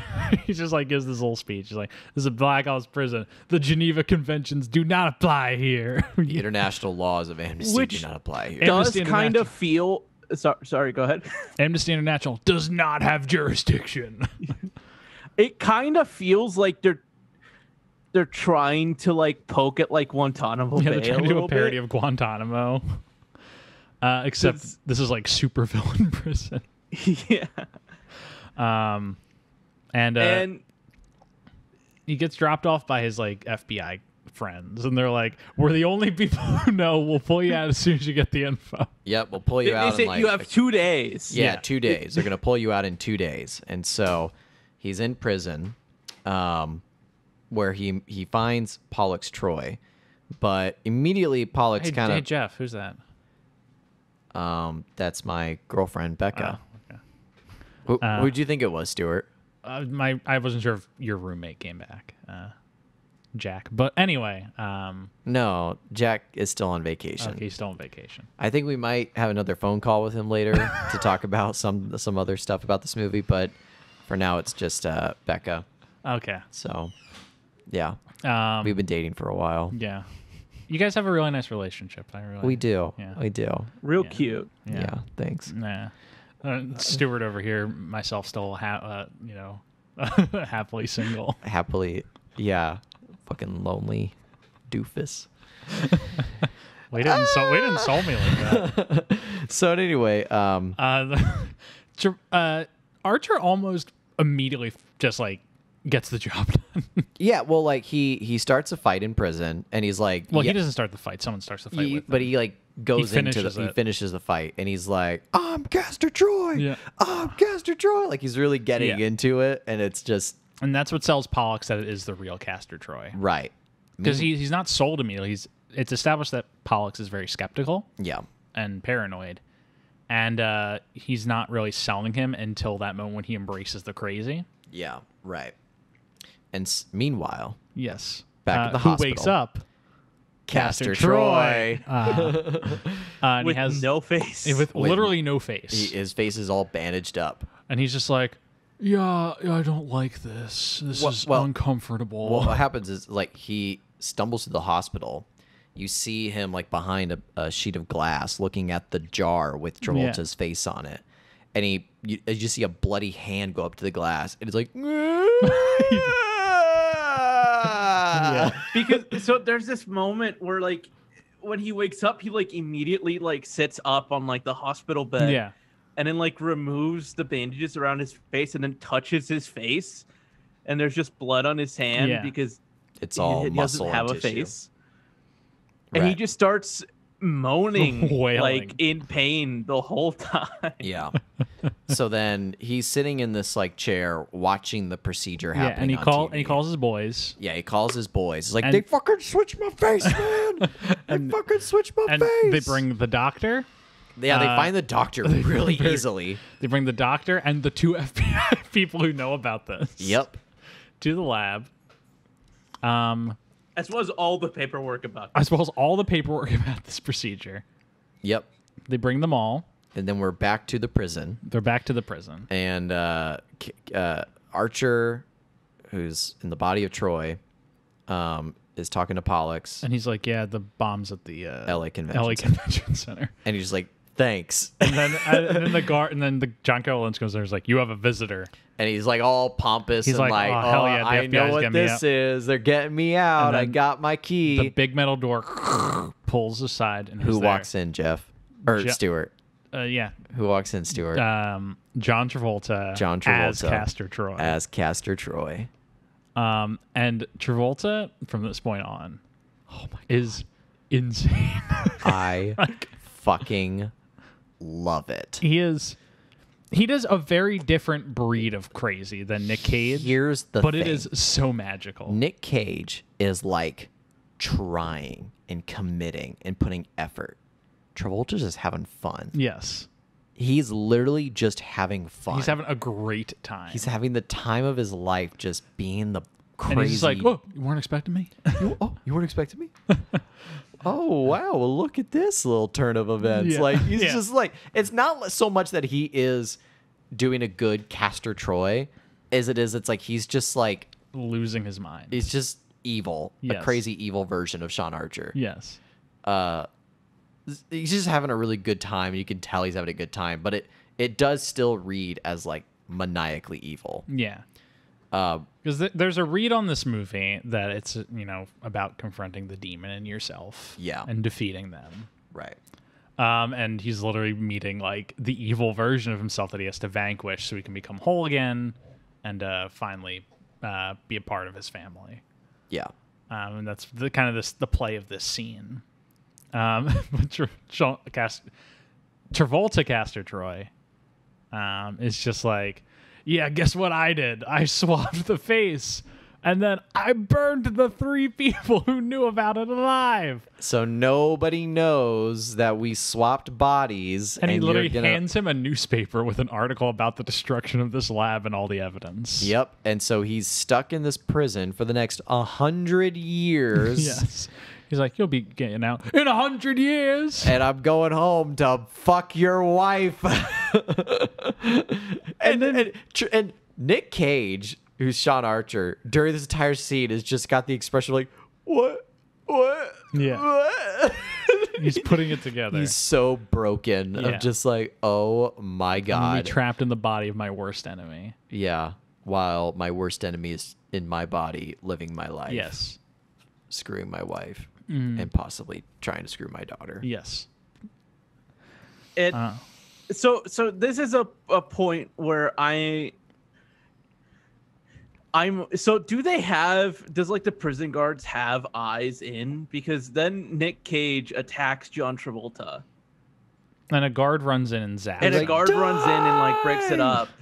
I assume they just heard all the commotion because he literally just yells like "Die!"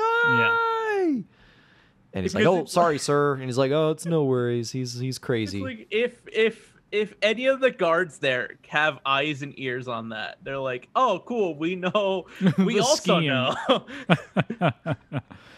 well, and so like These guards are a little corrupt. I like what uh, Castor Troy then says. It's like, "Oh, don't worry. He's probably had a traumatic childhood."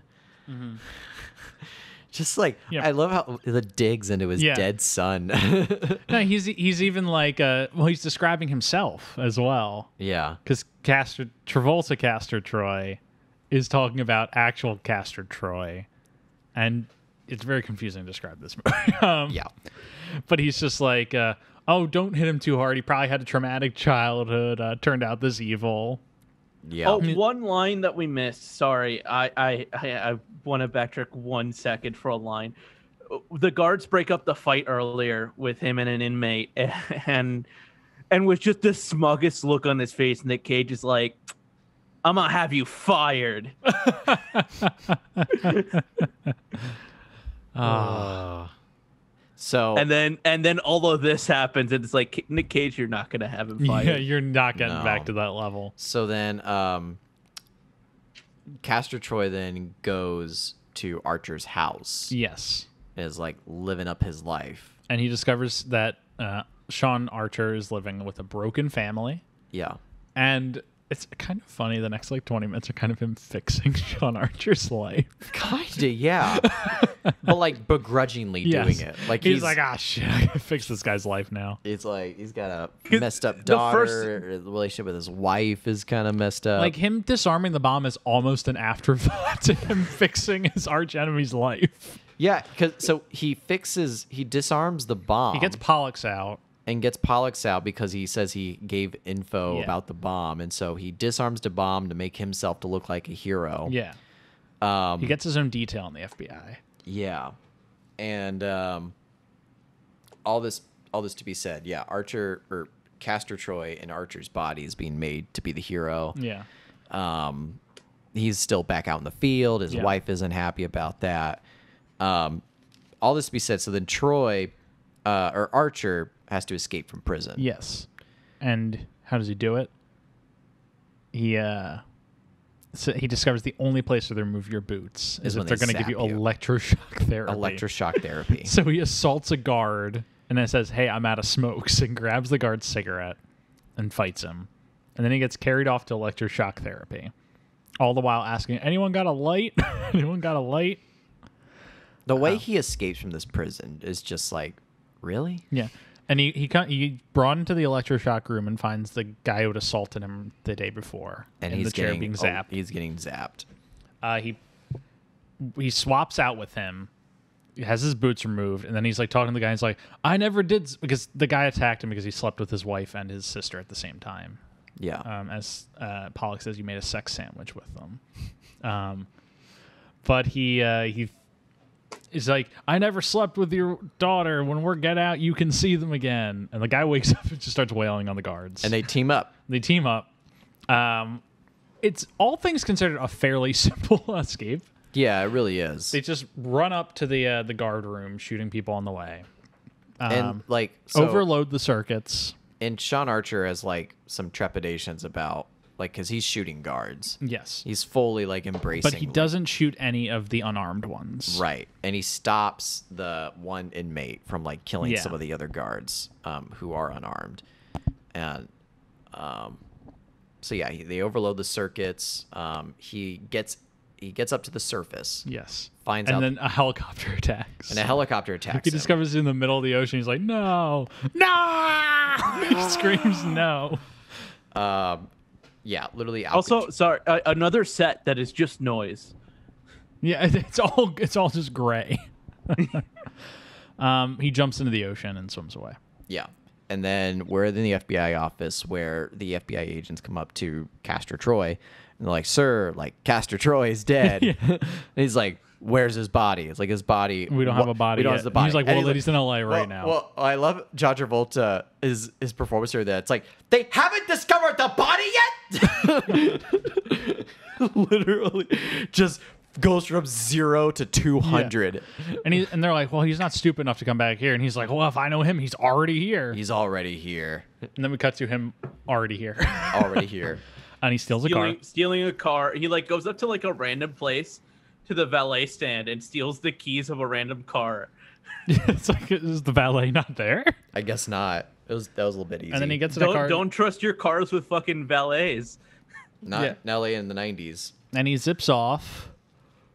Um, where does he go first? He breaks into his.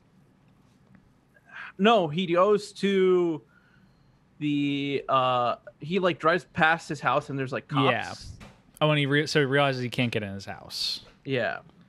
Um, And so then he goes to like meet with like Castor's associates. yeah, so he goes to meet with Gina Gershon and Nick Cassavetes. We and we missed one bit where um Travolta Troy is driving to his house and he misses it. And he like stops and because like his wife's standing out front and he like like, Reverses. reverses the brakes like so she's you like- forget where you live now. Yeah, and he's like, oh, you know, all the houses around here look the same. and he's like i gotta get going. And it's like well where are you going? Like you gotta come with me to this thing. And like he doesn't know what thing he's talking about. And he's like, I don't like, want to. what do you mean? Like i gotta go do something. It's like i know it's hard for you but you have to come. Cut to to his son's cemetery. He's at Sean Archer's grave, Or like Michael Archer's. Michael Archer's grave, visiting literally his victim's The person he murdered. grave and it's like it's a little moment like this where it's they don't there's no dialogue for Yeah. Castor Troy so you don't know totally what he's thinking it could be like this is just pathetic like Yeah. why am I doing this or it could be like oh fuck Yeah. cuz I started watching um the TV show Barry Great Um, show. from HBO, and there was there's a scene in Barry where like this is after he like killed somebody, Yes. and it was like the acting buddies, and they go to like this memorial service, and he Barry sees like his dad weep for him in the service, and he like runs out and says, "I never see that." He's like, "What?" It's like that, like the the mourning that comes Yeah. after killing somebody, and I just kind of drew parallels to this a little bit, where Yeah. it's like, you know. Castor Troy has to like see the consequences of that- his actions, and he's um, unmoved. and he's unmoved, Yeah. or is he? Or is he? He seems like at some moments to be slightly kind of getting in the hang of being living the square life, Yeah, but never fully committing. right. Especially when he's fixing it. Like Yeah. he like he there's this moment I don't remember when it happens. if it's like further along than we are or not in describing the movie, Mm. but uh Sean Archer's daughter is like about to get like assaulted by the guy she was She- seeing. yeah, yeah. Yeah. And and John Travolta so this is Castor Troy as Sean Archer comes out and just beats the shit I like that. out of out of this guy. It's like, what would have Sean Archer had done differently? Yeah. Because he's still an FBI agent, even though he's a good Right. guy FBI agent. He's still a dad, Mm-hmm. and he's still a cop. So it's Castor Troy, Sean Archer is giving the tough love Yeah, that his but what- daughter needs. what- he actually really bonds with the daughter. in a Weird In a way. in a weird, sick way, Yes. kinda. because he also like like pervs on on his daughter. yes. yeah, it's a it's a weird paradox with this one. Yes. Um. Because he starts, uh, he like starts sharing cigarettes with her because he doesn't have any in the house. Well, his first interaction is he walks in in her bedroom and she's in her underwear, yeah. and he's staring. and he's and, and she's like talking to someone about some I forget the exact line, but it had something to do with sex. Yeah. and she's like, and- and "Dad, go like- away!" And she closes the door, and he like holds the door open Yeah. And just gets really uncomfortably close to Yes. her. He like whispers under his breath too. He's like, "Now that's more like it." like re- referencing his like uh Sean Archer's wife as Yeah. being like, "This is better than his wife." Yeah. Yeah. Yeah. Uh, yeah. so we're back with uh, Sean Archer and uh, Castor Troy's body with his old gang, Yes. and he immediately gets really high Yes. uh, with his with his old With gang. Nat Cassavetes and Gina Gershon. and this is when I, we get the best line in the entire movie, besides the peaches line. It's like, um, I, I want to take. Like, hey, Ar- hey, Troy, what do you want to do? What What do you want to do now? It's like, I want Sean Archer, and he's like, What do you want to do with Sean Archer? It's like, I want to take his face. Off. Roll credits. I want to take his face off. And he does this like hand gesture with it Yeah. every time. And he's like, and, and they start mimicking him about Yeah. it. It's like, so what do you want to take his face off? what does that mean? and then they're like, "No more drugs for this guy." this guy gets no more drugs. yeah. Uh, Um, They then he wakes up the next morning. well, he, he goes to the bathroom. Yes. And he has like a panic attack. Yes. Because he like sees He sees face. himself in the mirror. Yeah. And he does like the Nicolas Cage wide eye Yeah, move. And then his uh, girlfriend or whoever. His uh so tra- Castor Troy's ex-girlfriend Sasha walks in. walks in And he to, like has like the creepy stare Yeah. still going on. and she has her son who Sean Archer had earlier threatened to remove from her. And they start chatting. Um, and it's revealed that the kid is Castor Troy's son. Right. Um, and he's the same age that Michael was when he died. Yeah. And so I have issues with this at Uh, the end Cat- of the movie. Archer is a little um high still, and he's just like Mikey, and he starts like stroking the kid's face, And it's a and she's like, "This is a little creepy." It's a little weird.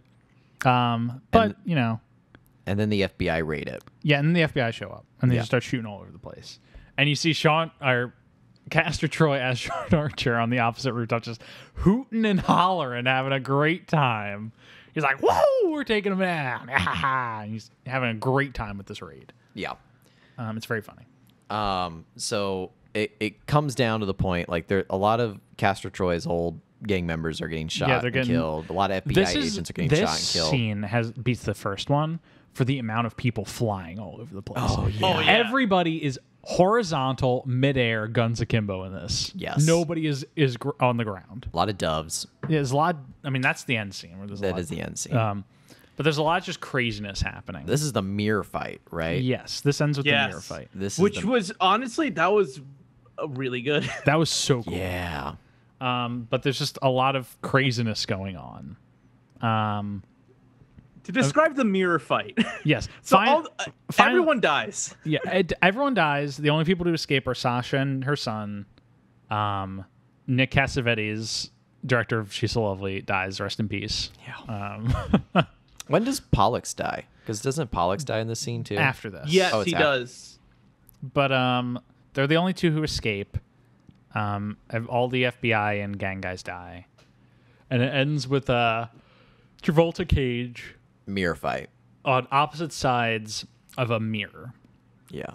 a two-way mirror, so both sides are reflective. Um, They're aiming guns at each other. Yeah, and well, the fir- they're just like head to head on either sides of the pillar, and they're just chatting about like you know that you're not so different, you and I, kind of like conversation. Yeah. Um, and he's like, you know, I fucked your wife and all that kind of stuff. And if they whip around, they do like a slow mo whip around, and are pointing guns at a mirror, the mirror between them, and they're just shooting at themselves. Yeah. Ugh, Ugh.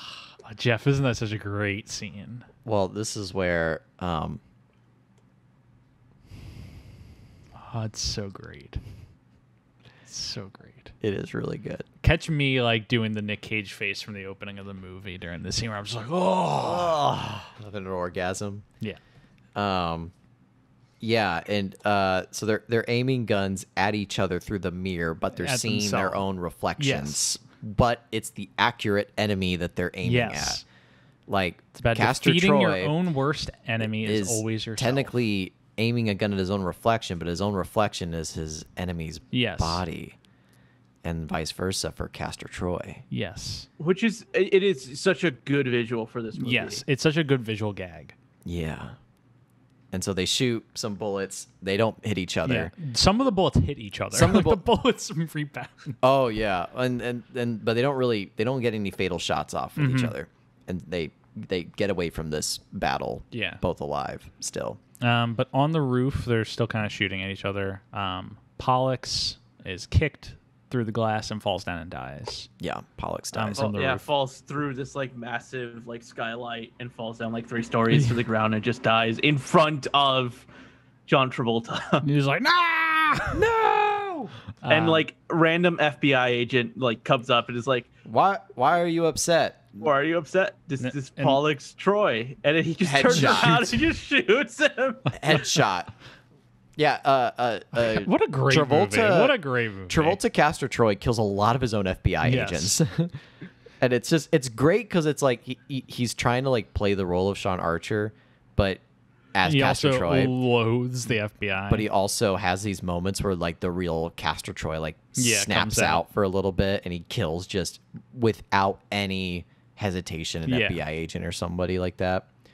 Because this Um, also leads to like the next scene where they're at the like uh, the headquarters in LA yeah. and John Travolta is like talking to his like higher up and he's like people are getting real nervous up top that you know so much. And there's like there's so many people who died there. This is not acceptable. And then rather than uh, Castor Troy just kills Sean Archer's boss. For Yeah, he just strangles him Uh, in his own Victor office. Victor Lazarro is his name. He's the FBI Who's like director. seemingly starting to have a heart attack. Like Yes. he, he he like motions to his heart a couple of times and is like, "Ugh." and so uh, Castor just exacerbates that process and kills him. And then he uh, call dials on his phone and be like, "Hey, Stacy, Lazarro had a heart attack in my office. Send an ambulance right away." Yeah. Gets away with it like a fucking champion. Yeah. And then the next thing is um, Archer go sneaks in his house. he sneaks in his house and talks to jo- his Joan Allen wife. yeah, And is like, and she's obviously concerned to see the guy who killed her son in, in her bedroom. yeah, she's freaking out. And then he explains to her the situation. Is like, here, t- take a sample of our blood, and you'll see I'm O ne- I'm O negative, but he's A B. yeah, Um, no And- other way to do and this. so she does that. she does that. Uh, what time? You keep looking at the Jeff. You keep looking at the thing. Um, well, Stu, we're about an hour and fifty, Okay. so uh, it's not gonna be three, I guess. Well, Matt, this is already longer than the Carrie episode. How's that feel? I, I'm aware. It's great. Hell yeah. Uh, There's still so much left. There's a lot left of this movie. this is going to be the longest episode of this podcast if I if my math is right. If you go 35 minutes longer, you'll be the longest episode. Is there a two hour episode of this podcast? Pulp There's a- Fiction. Pulp Fiction is two hours 24 minutes, I think. yeah, Pulp Fiction's Is our it? I- longest. Oh, it is two hours twenty five. You're right. Yeah. yeah, competition. Um, So at any rate, yes. At any rate, she tests the blood, and, And it it's is- true. and she- she's like, "Oh my god!" And so the next day, she meets with um, Sean in the Nick Cage body, Uh, no, it's literally he's at the hospital Oh, yeah, he's already waiting while at the she's hospital. He's, like waiting lurking at in the, the shadow. hospital. He she, le- she goes in. She like prick. I she knew- pricks John Travolta in his sleep. Goes to the hospital late at night. Tests the blood and and uh, uh Nick Cage. So this is Sean uh, uh Archer. Archer. as Castor Troy is Yes. already there at the hospital waiting. and he like he like like you know He's like, weasels I, in I, through I the. knew you uh, would come here. I knew you Well, would I, you would I believe knew you me. would trust me. like he's such a broken a gun man at on this him and is like, I don't trust anyone right now, which is Mm. fair. yeah. Um, but eventually, I wouldn't trust anyone. But eventually, I don't trust anyone now because of what's happening on this podcast. I don't know what's happening on this podcast. Uh, well, he uh, eventually she believes him that Yes. he's the real uh, Sean Archer, just with a different face. they come up with a plan. Yeah, they say like he's gonna be the next director, so like he's gonna be untouchable. It's like, well, not at the funeral. They got to go to the fu- the bureau director's funeral the next day. Um, so then cut to church funeral scene. Um, John Travolta or Castor Troy and his family. Um, so the, the Jamie does not go. yes. Um, they make an excuse like she, she stole does- 50 bucks and ran off. yeah, she's like she doesn't come to our son's grave. She's not going to come to this funeral. They just want to keep her out of it to stay Yeah. safe. So they go to the funeral, and um, uh, and you Sean, can tell that like Castor Troy as Sean Archer is like, huh, that's odd. Yes. Yeah. He's skeptical. He's he's already skeptical about it. picking up a little bit of his brother's paranoia. So um, they go to the funeral, and so does Sean Archer Cage. Yeah, except he just starts out standing on the beach. And it's like this is a wide shot of just Nick Cage just standing there staring at the ocean as all these doves fly around. Yes, Not He- seagulls, he- doves. doves. Keep, Yes. in, keep in, keep that in mind. Yes. Um, so he lights a candle Yeah. for his son because he takes a photo from his house. Well, first, um, like the funeral happens. Well, and then it's during the funeral. He lights a candle for his son because he has a Yeah. photo, and then an altar boy delivers that photo to Castor Uh, yeah. Troy, John Travolta. who crumples in his hand and realizes his enemy is here. His enemy is here. Um, and then, It's post funeral. Well, yeah, the funeral happens and there's a lot of choral music. Yes, Um, there's a lot of choral music. and uh, it's just it's like three minutes of slow mo Nick Cage walking up to the funeral. Um, as the funeral occurs, it ends. Nick Cage walks up to the altar. He like pays his respects, and then he turns around, and who's there? Castor Troy, John John Travolta. And he's like, "Well, look who it is." Um, they point they point their guns at each other, Yeah, and then Joan Allen comes in. and she's being held hostage. by, by and one of his. Travolta's henchmen. like, yeah, get, uh, your daughter's on the way too. So we have a three-way standoff. and then Uh, Gina, Sasha- Sasha comes in. Gina Sasha Gershon comes comes, in. and points her guns. yeah, And, and, then she has a guy with her who also comes in and points guns. Yeah. A What a what a great standoff. and there's like, I think there's like there's another party here who has two guns pointed. I don't even know who it is. yeah, there's a lot of guns being And it ends up at with like six or seven people all pointing two guns at each other. yeah, like the craziest ma- standoff ever. And right as Sasha comes in, Travolta has my favorite line delivery in this movie, where he's just like, "Sasha, what the fuck? What the fuck?" he says it's so funny. Um, and he's like, "Well, what, what's the line he says about the the standoff? Isn't this a tense situation or something like that?" something like that. Yeah, I don't really know. It's so funny. um, I'm I'm really stoned at this point when I'm watching this movie. Yes. So my notes get a little vague during Yeah. this point part. Um, so I just wrote down church standoff gunfight, Yes. and uh, everybody but Travolta, Cage, and Joan Allen die. Yes. including Sasha. Yes, Sasha, Sasha, dies, too. and she she's like she takes a bullet for Castor Troy, who she thinks is actual Castor Troy. but it's Sean Archer. Yeah, and Sean she's Archer's like, just take, over her take body. care of my son, and she dies. on top of him. It's like take care of our boy. Yes. Don't don't she says don't let him turn out to be like us. Yes, Which is an interesting thing for Sean Archer. Yes. to, to be said. And then, uh, so there's a little more chasing that goes on, Yeah, then the, the fight scene continues. and eventually winds up with um, Jamie shows up. Jamie shows up and has a gun pointed. Um, Sean Archer, Nick Cage, Is trying to like he has Travolta, Troy, to ready to kill him, yeah, and Jamie shows up and she has a gun, and she Uh, points it at and they're both like trying to convince her which to shoot at, Yeah. and because she had connected with the Castor Troy Tr- Archer, she, shoots, at Sean her Archer real dad. Cage. Yeah, Right. in his arm. Yes, And he's then like, he starts And he's like, "No he, daughter of mine would aim so wide." His little he like Castor Troy. grabs her and then starts licking her face. Yes. And It's like peaches. he literally says it like that. He's So like, then he like Peaches. earlier. So after she got assaulted, he gives her a knife, and Yeah. a says, butterfly knife. Yeah, yeah. It says next time you know old Jimmy tries to do anything to you, stick this in his thigh and twist it so the wound can't close. And so when uh, Castor Troy Travolta is like holding her hostage with a with his gun, um, she he licks her face and says Yes. peaches, and then she takes the knife, stabs, Stabs it in him. his thigh, and twists it. Yeah, and then he's on the run. yeah, And she's and then Joan Allen goes to Jamie, and Jamie says one of the greatest like, "Will someone tell me what planet I'm on?" so tell me what's happening. yeah, And so now it's just the two of them it's just the two of them chase scene, and a speedboat chase occurs. and then a speedboat chase. yes, and they're on two different speedboats. and this is where you can see when it cuts to like wider shots that it's totally stuntmen. Yes. Oh yeah, And I- they don't they don't try because nowadays you would you would CG their face out, but Yeah. now they here they there are some earlier parts too where they are clearly stuntmen, but this is the like the worst offender uh, offending scene of that.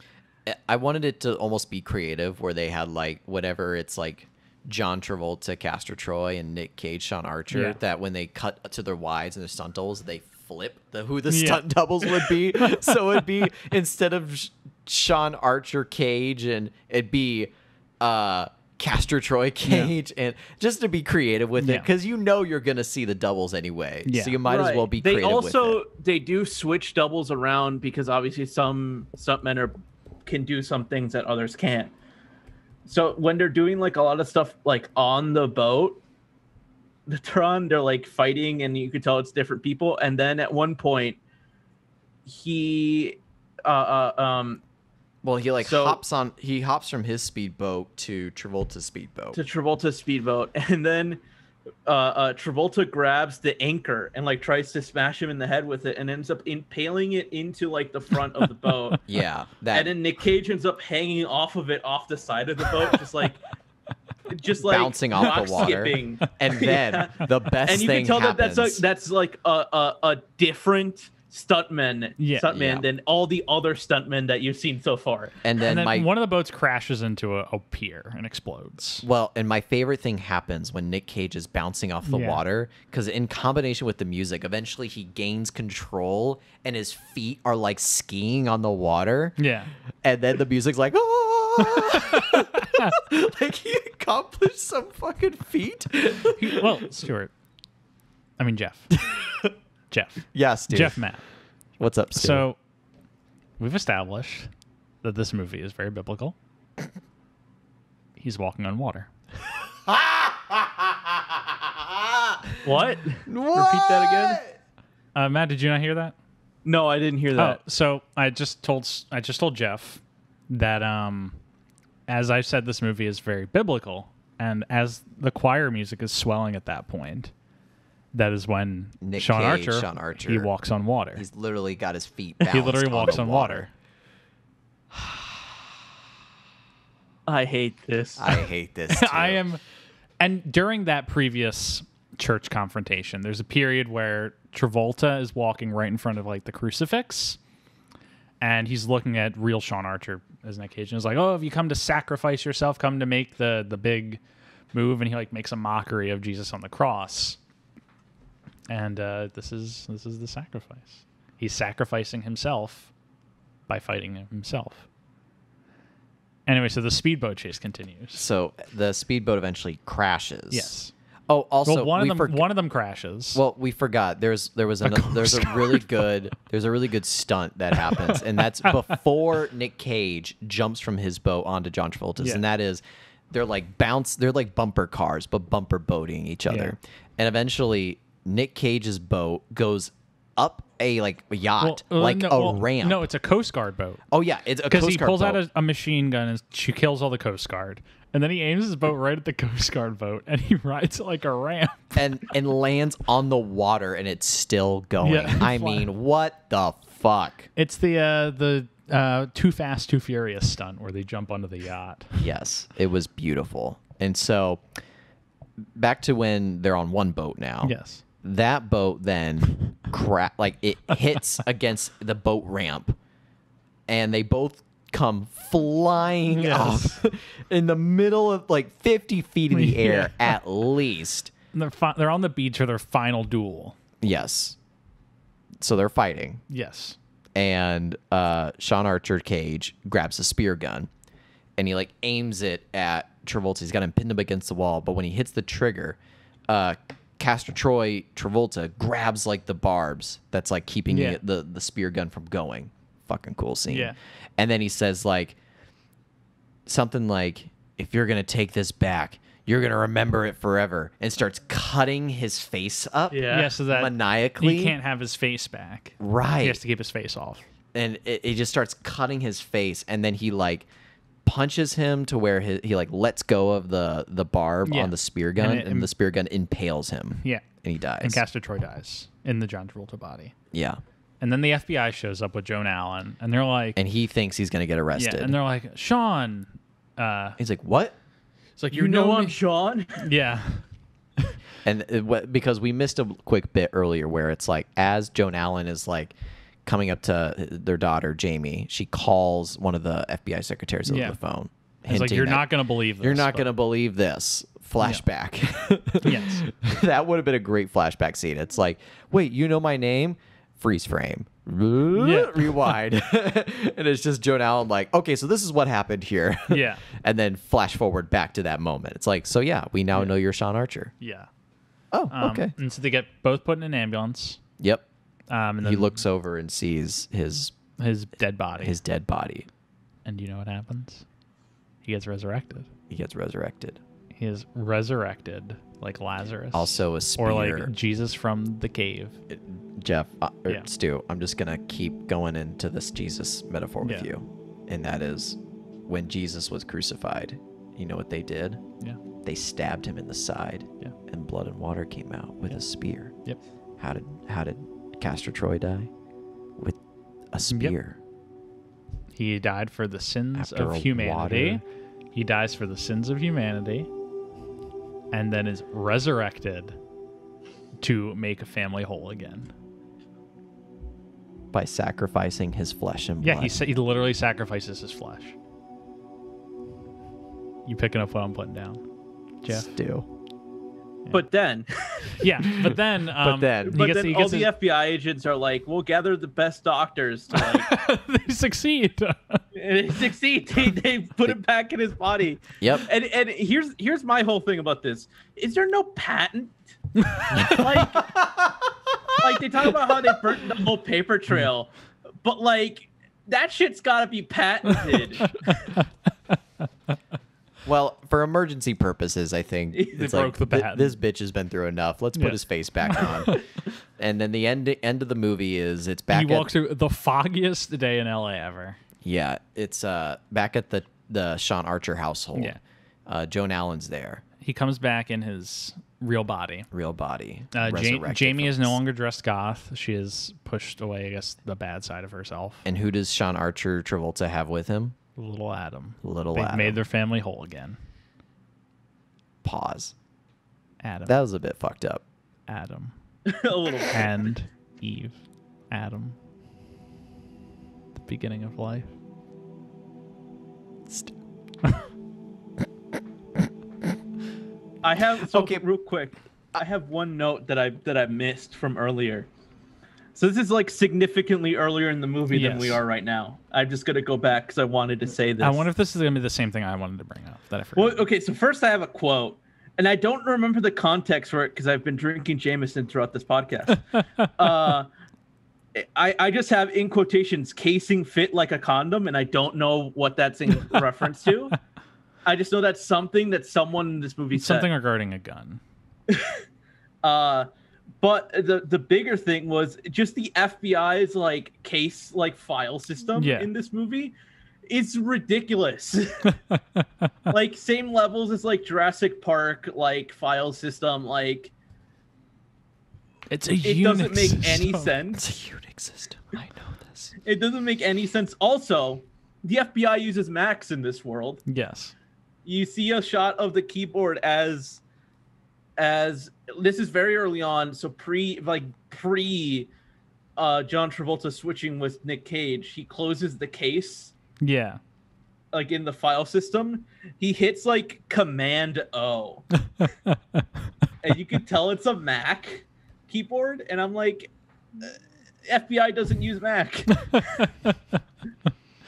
Matt's coming at you with the takes. The of this anti-Apple. coming at you with the takes also Um, no regards for physics in this movie the best kind of movie. the best for kind. Well- the best kind of movie is the kind that does, just doesn't. John Woo just doesn't care about. John Woo. John, John Wood, Woo is not controlled by. Listen, physics. uh, yes, John he exists in a Woo physics-free world. is the same guy who set a nuke off underground and Broken Arrow, and there were no consequences for it at all. Forget John Woo is the same guy where Tom Cruise and the the enemy person in Mission Impossible 2 Dougray Scott, fucking take like take like uh uh they like take ramps on motorcycles towards each other. yeah. They jump off the motorcycle, they explode, and they go flying a direction that doesn't make any sense. they go flying like off a cliff sideways, even though, it, yeah, it's John Woo doesn't care about physics, and it's great. It's the best. Um, so one of my biggest beefs was the ending. He brought Castor Troy's Damien Devil Child. Well, Child Into needs a- his he's gonna- household. it's it's a second He's- chance. He's Sweet. It's a second replacing chance. Sweet. Adam. He's He- replacing Michael, and it's like That that that is the creepy part because like he has like the same haircut yes, as Michael. Jeff, Yeah. Jeff, yeah. What's up? the resurrected son. Stop. But it's weird. I get it, but it's weird. Yeah, it's a little weird. Because But literally, it's I- like I like this it. I is Adam. He's our new Michael. Yes. Make him home. By the way, he's the son of the man who murdered our real Yeah. son.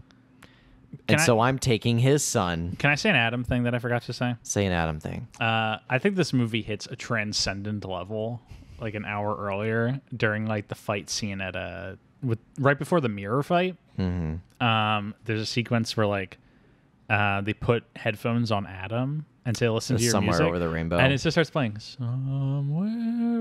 over-" It's barely an Olivia Newton-John performance, it, which is fun. really? Yes. Um, Oh, but it's like some as like chaos is just unfolding. It was it was it's a great song for that chaos. Yes.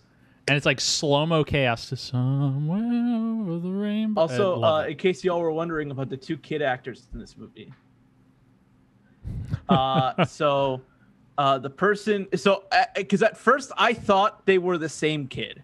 No. I No thought way. it was the same kid No that way. played both of them. They don't. It's two different kids. Gotcha. Uh, so Michael Archer is played by Myles Jeffrey, who after Face Off did some things and is still acting to this day, but in very minor roles in short films. Mhm.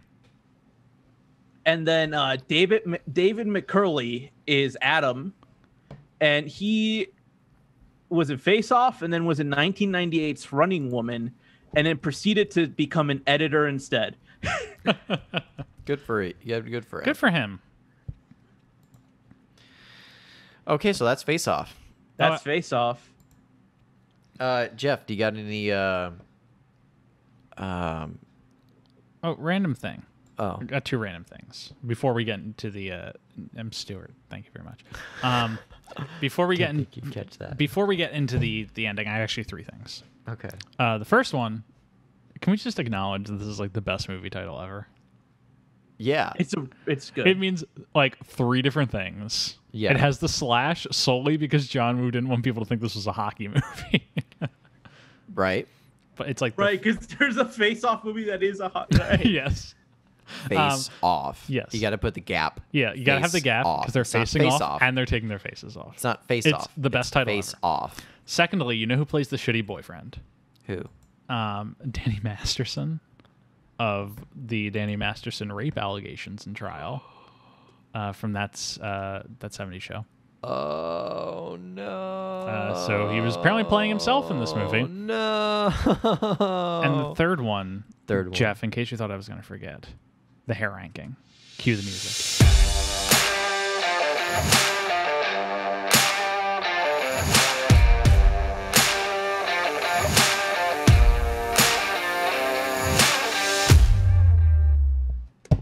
Oh shit. Oh Alright. shit. All right, so Stu's doing the hair ranking. yeah, uh, so welcome, ladies and gentlemen, to the hair ranking. I am your host, Stuart Elmore. and I'm Jeff, and I'm here to listen. Yes. Um, so we've talked a lot about how this period of Travolta, you know, they all have fairly similar hairs. There's not been a lot of change uh, from pretty much White Man's Burden onward. Yeah. It's been a little shorter in some, a little longer in the others, but for the most part, it's the same thing. We get more of that with this one. Um, he just kind of has his like gelled upward, like I don't know what you call it, but his gelled upward like sticky hair. Yeah. Um, it looks good. It's a good look for him. Um, but you know, it's just, it's just more of the same of what we've seen. And Stu, are you gonna put into account at all the face-off nature of it? Like, is Nicolas Cage's hair gonna count in the hair inking? I mean, I think we gotta. I think we gotta count this as two different hairs. Okay. Um, the Stu, thing is, once you put this in the list, it can't move. yeah, I know. Just want to make sure you, But- Stuart Elmore, are Yes. very aware I- of I, the am very consequences. the consequences of my actions. okay. Um, so we're putting two hairs in here. Putting two hairs in Two here. hairs in here. Um, for the Travolta hair, it, it is more the same, but I like it a little more than some of the recent ones we've had. I think it's the gel that's doing the work. I think I would agree with you, Stuart. So you know, I'm gonna I'm putting it right above. Uh, I'm gonna put it r- right above Boris and Natasha, right below Broken Arrow. Where where is that in the ranking? Um, actually, you know what? You know what? Put it right above Broken Arrow. what's ab- what's what's It above would, that? It would then? be above Broken Arrow, below Two of a Kind. I think that's fair. I think that's very fair because it's, it's a little nicer than his Broken Arrow. What ranking is that? Number thirteen. It'd be number thirteen. Thirteen. Now, um, as for the um, Castor Troy hair, the Nick Cage, I'm not I'm not a huge fan of it. It's a It doesn't change. It doesn't change, and it's the it's kind of it's like the too shortcut for Nick Cage. I don't like him when he has short hair. I mean, when you see Con Air Nick Cage, Yeah, like Con Air, put the bunny back in the bag. Did you Um, guys know that Con Air and Face Off came off in the same Yeah, month? same year, same month. Yeah. So Face Off came off came out uh January or June 27th. Yeah, Uh that was its opening, opened at 23 million dollars, number 1 in the box office the weekend it opened. Uh and 4 weeks earlier was the opening of Con Air. amazing. Wow, what, a, big what a time for Nick. What Cage. a time for Nick. um, but as Con Air stayed number 1 in the box office until it was overthrown by Batman and Robin, uh-huh. which was then overthrown by Face Off.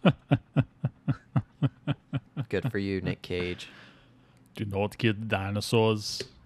The Ice Age. That's a great movie. Um, I don't, I'm not a big fan of the Nick Cage hair in this movie. I would say It- it's gonna go- it's, it's gonna pretty go- classic Nick Nick Cage. Wait, so are we hair, doing though. It's double a little rankings? too. It's a little too short. So, Stu, are we doing double rankings for this? yeah, double rankings.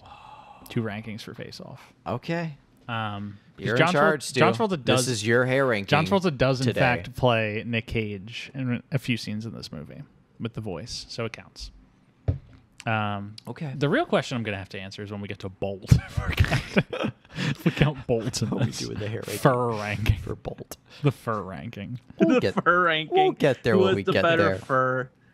Um, I'm putting this near the bottom. okay. Um, it's going to go above Devil's Rain and the Experts.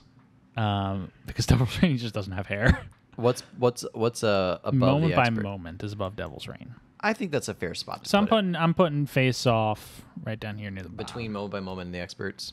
Uh, Yeah, between D- Moment by Moment and Devil's Rain, because The Experts is below Devil's Whoa. Reign, Oh yeah. Okay. because Okay. it's yeah, it's yeah. it's a war crime. yeah. The experts is a fucking war. It's crime. It's a war crime. Matt, if you've not seen it, look up John Travolta, The Experts hair, and see the the travesty that was put upon us. That was just never. But also, while I was looking up picture of the hair, I found this really cool. Uh, dum- it's the dummy they used. oh wow. Oh, the in between dummy. Yeah, for the the head slicing, Yeah. the for the face being taken off. That's really cool. Oh, that's a great mullet. By it's way. uh war crime. It's yeah horrible. But yeah, that was uh the hair ranking. Cue the music.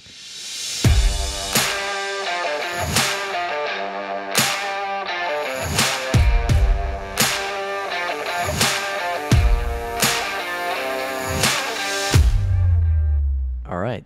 Anyway, so Jeff, do you have any like Im- impact for this movie? Anything, or do you want me to do that again? I think Because you apparently showed up unprepared today.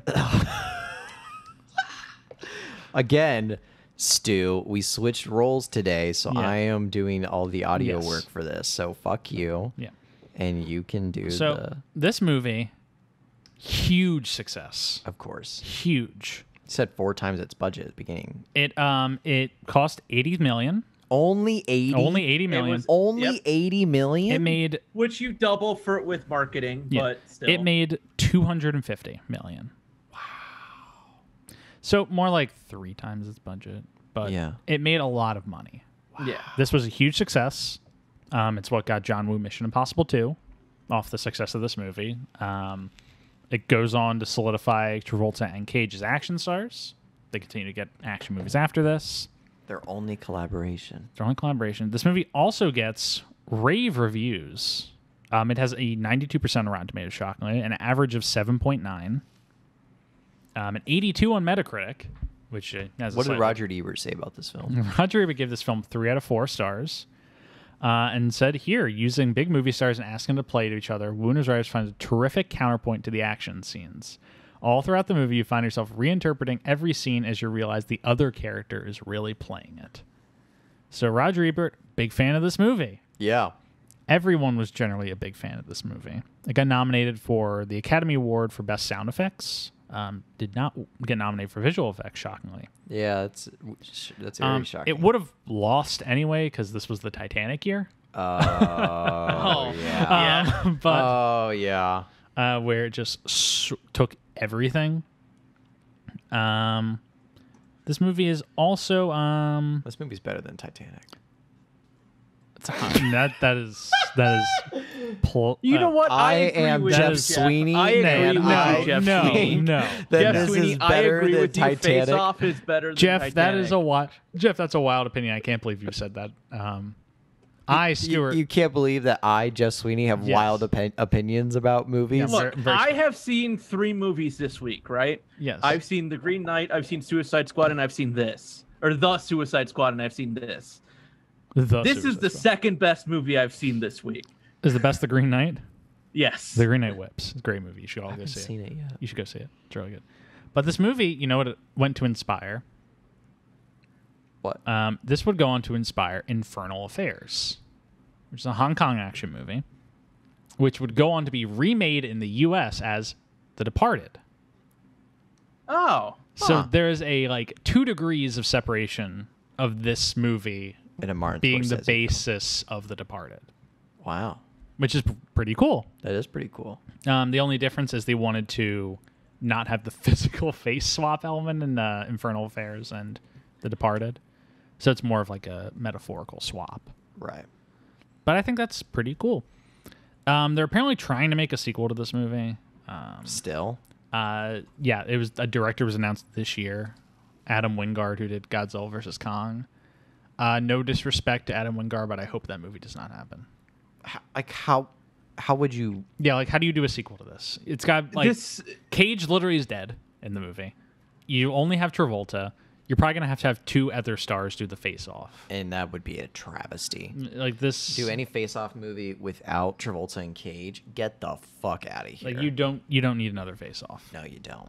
Make do, apparently Cage and Travolta are interested in returning. Cage has like a twin brother. He's like, I need revenge. Oh my god. uh because because here's here's like I could see them. Matt, can you talk closer to the mic?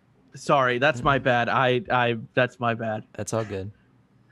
Uh, uh, I could see them remaking this movie, trying to like just just do like a flat remake with like newer stars. Like I could see this working with like a Fassbender McAvoy duo or something like that. Interesting Uh, pairing, but I like it. yeah, interesting pairing.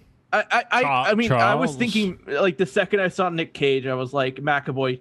If they were to remake this, I would cast James McAvoy in it, Mhm. and the only natural, obviously, if I'm casting James McAvoy, I have to cast Michael That's the Fassbender in it. that's I the would flip the roles though. It'd be James McAvoy as Castor Troy and Michael Oh, Fassbender course. as uh, As- Sean Archer. Yeah. That's I- Sean Archer, yeah, Uh, yeah, Mike James McAvoy because if, if Split and Glass proved anything, he can exactly, he could do the yeah. He can do crazy. yes, or he can But- do he can play a lot of different roles in the same body. but like I could see them remaking, but doing a direct sequel, like it just it doesn't make sense. Also, like this kind of movie wouldn't be successful today. It's it's a star driven vehicle, and they're just like we've talked about like there really isn't a movie star industry anymore. It's a franchise industry. Right. And not just that, like this is like a cult classic. yeah, It, it, I mean, it was number one at the box office, but it was still it's still very much a cult classic. And I feel like the way movies are made now, since there's no DVD sales anymore, yeah. It all has to come from box office earnings and uh, you you couldn't make this movie today It requires a really specific like hit yeah to be like an original action movie nowadays that is big. Like a John Wick, for example, that Yeah. would that spawns a franchise. oh you know what no keanu reeves and tom cruise are who need to be in face off the remake Oh, who would you cast as Probably the take his Castor face Troy? off. Who would cast as the Sean Archer? uh keanu reeves is castor troy Ooh. wow. Um, random aside, random aside. As we all aside. know, I'm a big fan of the Wait. dumb IMDb trivia facts. Danny DeVito and Dwayne the Rock Johnson. Yeah. Jeff, I think you're also a fan of dumb IMDb trivia facts. The ones that are always at the very bottom Yeah. that like someone just wrote and was like, I'm so clever. Um, here is this week's edition of dumb IMDb trivia facts. Joan Allen played John Travolta's wife in this movie. In Pleasantville, she played William H. Macy's wife. Travolta and Macy would go on to star together in Wild Hogs. yeah, great fun fact. Thanks for sharing. Amazing. other pairs of actors that were considered for archer and castor troy besides schwarzenegger and stallone include harrison ford and michael douglas bruce willis and alec baldwin al pacino and robert de niro and Jean Claude Van Damme and Steven Seagal. oh, Steven Seagal would be nuts in this movie. this movie would have had so much Aikido then. Have you? I watched. I watched uh, some Steven Seagal movies somewhat recently, within the last year. Uh, the Under Siege movies, and it is so funny that man's commitment to doing as little on screen as possible. The- he's like on top of a train that is barreling down the tracks. They're like, you gotta get to the front of the car, and he like slowly ambles along the top of the train to get to the front because he doesn't want to run in the scene. and that's Face Off. I have one more dumb fact. Hold on. I just I just read this. So the boot, the magnetic boots used by the prisoners here were reused from a different film, Oh, I saw this. a 1993 film. Stuart, uh, you, you don't have to pipe in since you know this, but Jeff, what 1993 film would you guess that those boots come from? Starship Troopers. It's No, you. Super Mario Brothers. Oh my They were the God. They Goomba are- Troopa. the Goomba's boots. Which I mean, that's a way to save money. it's why this movie was only made for eighty million dollars, which Jeff, is you a look lot of defeated money. by But, this information. you know, a little bit, yeah. I think it's because we're at two hours and twenty minutes, and I'm ready to wrap this sucker up. We got another. no, we got no, another episode we're or not two. done. Yeah, we're done. all right. yeah, we're done. Um, uh, thank you all for listening. whoa. Um, uh, you're launching right into it. yeah. Uh, Matt, any final thoughts before uh, Jeff wraps this up? Uh, uh, Stuart needs to edit this to be exactly the same runtime as the movie itself. All right, You know- Stuart, that's your job. Yeah, I'll edit that out for you. Um, it's uh two hours eighteen minutes versus two twenty, ish. Yeah. Um. Uh, Stuart, do you have any final thoughts before I close this out? No, um, Matt, thanks for being a part of it today. It was great to uh, have you back with us. Thank you for having me. We hope we'll have you once more in the future. I'm sure we will. Matt, Oh, you- of you're always a treasure to have. And we just thank you so much for coming aboard, and thank you everybody else for listening. Listening. Make sure to tune in next week for our episode on Mad City. Mad City. Uh, make sure to rate, review, and subscribe on whatever platform you're listening to. As a reminder, we're available on Spotify, Apple Podcasts, Google Podcasts, and YouTube. You can find us at Travolting Pod on Twitter, Instagram for updates and other fun stuff. You can pop into our Reddit at r slash Travolting. Email any comments or questions to travoltingpodcast at gmail.com. You can find uh, me, Jeff, at Jeff W. Sweeney on Twitter. You can find Stu. Oh, uh, on Instagram at Stuart Elmore 95. Uh, special thanks to Rebecca Johnson, my girlfriend, for our graphic design, and Michael Van Bodegom Smith for our theme music, Hey- which you are hey- listening hey, to Jeff? now. Jeff, What's, what's up, Stu? why is Jack Nicholson walking towards us with the scalpel um, in the surgical mask right now? I don't know. What? He's like gesturing like he's going to take our faces off.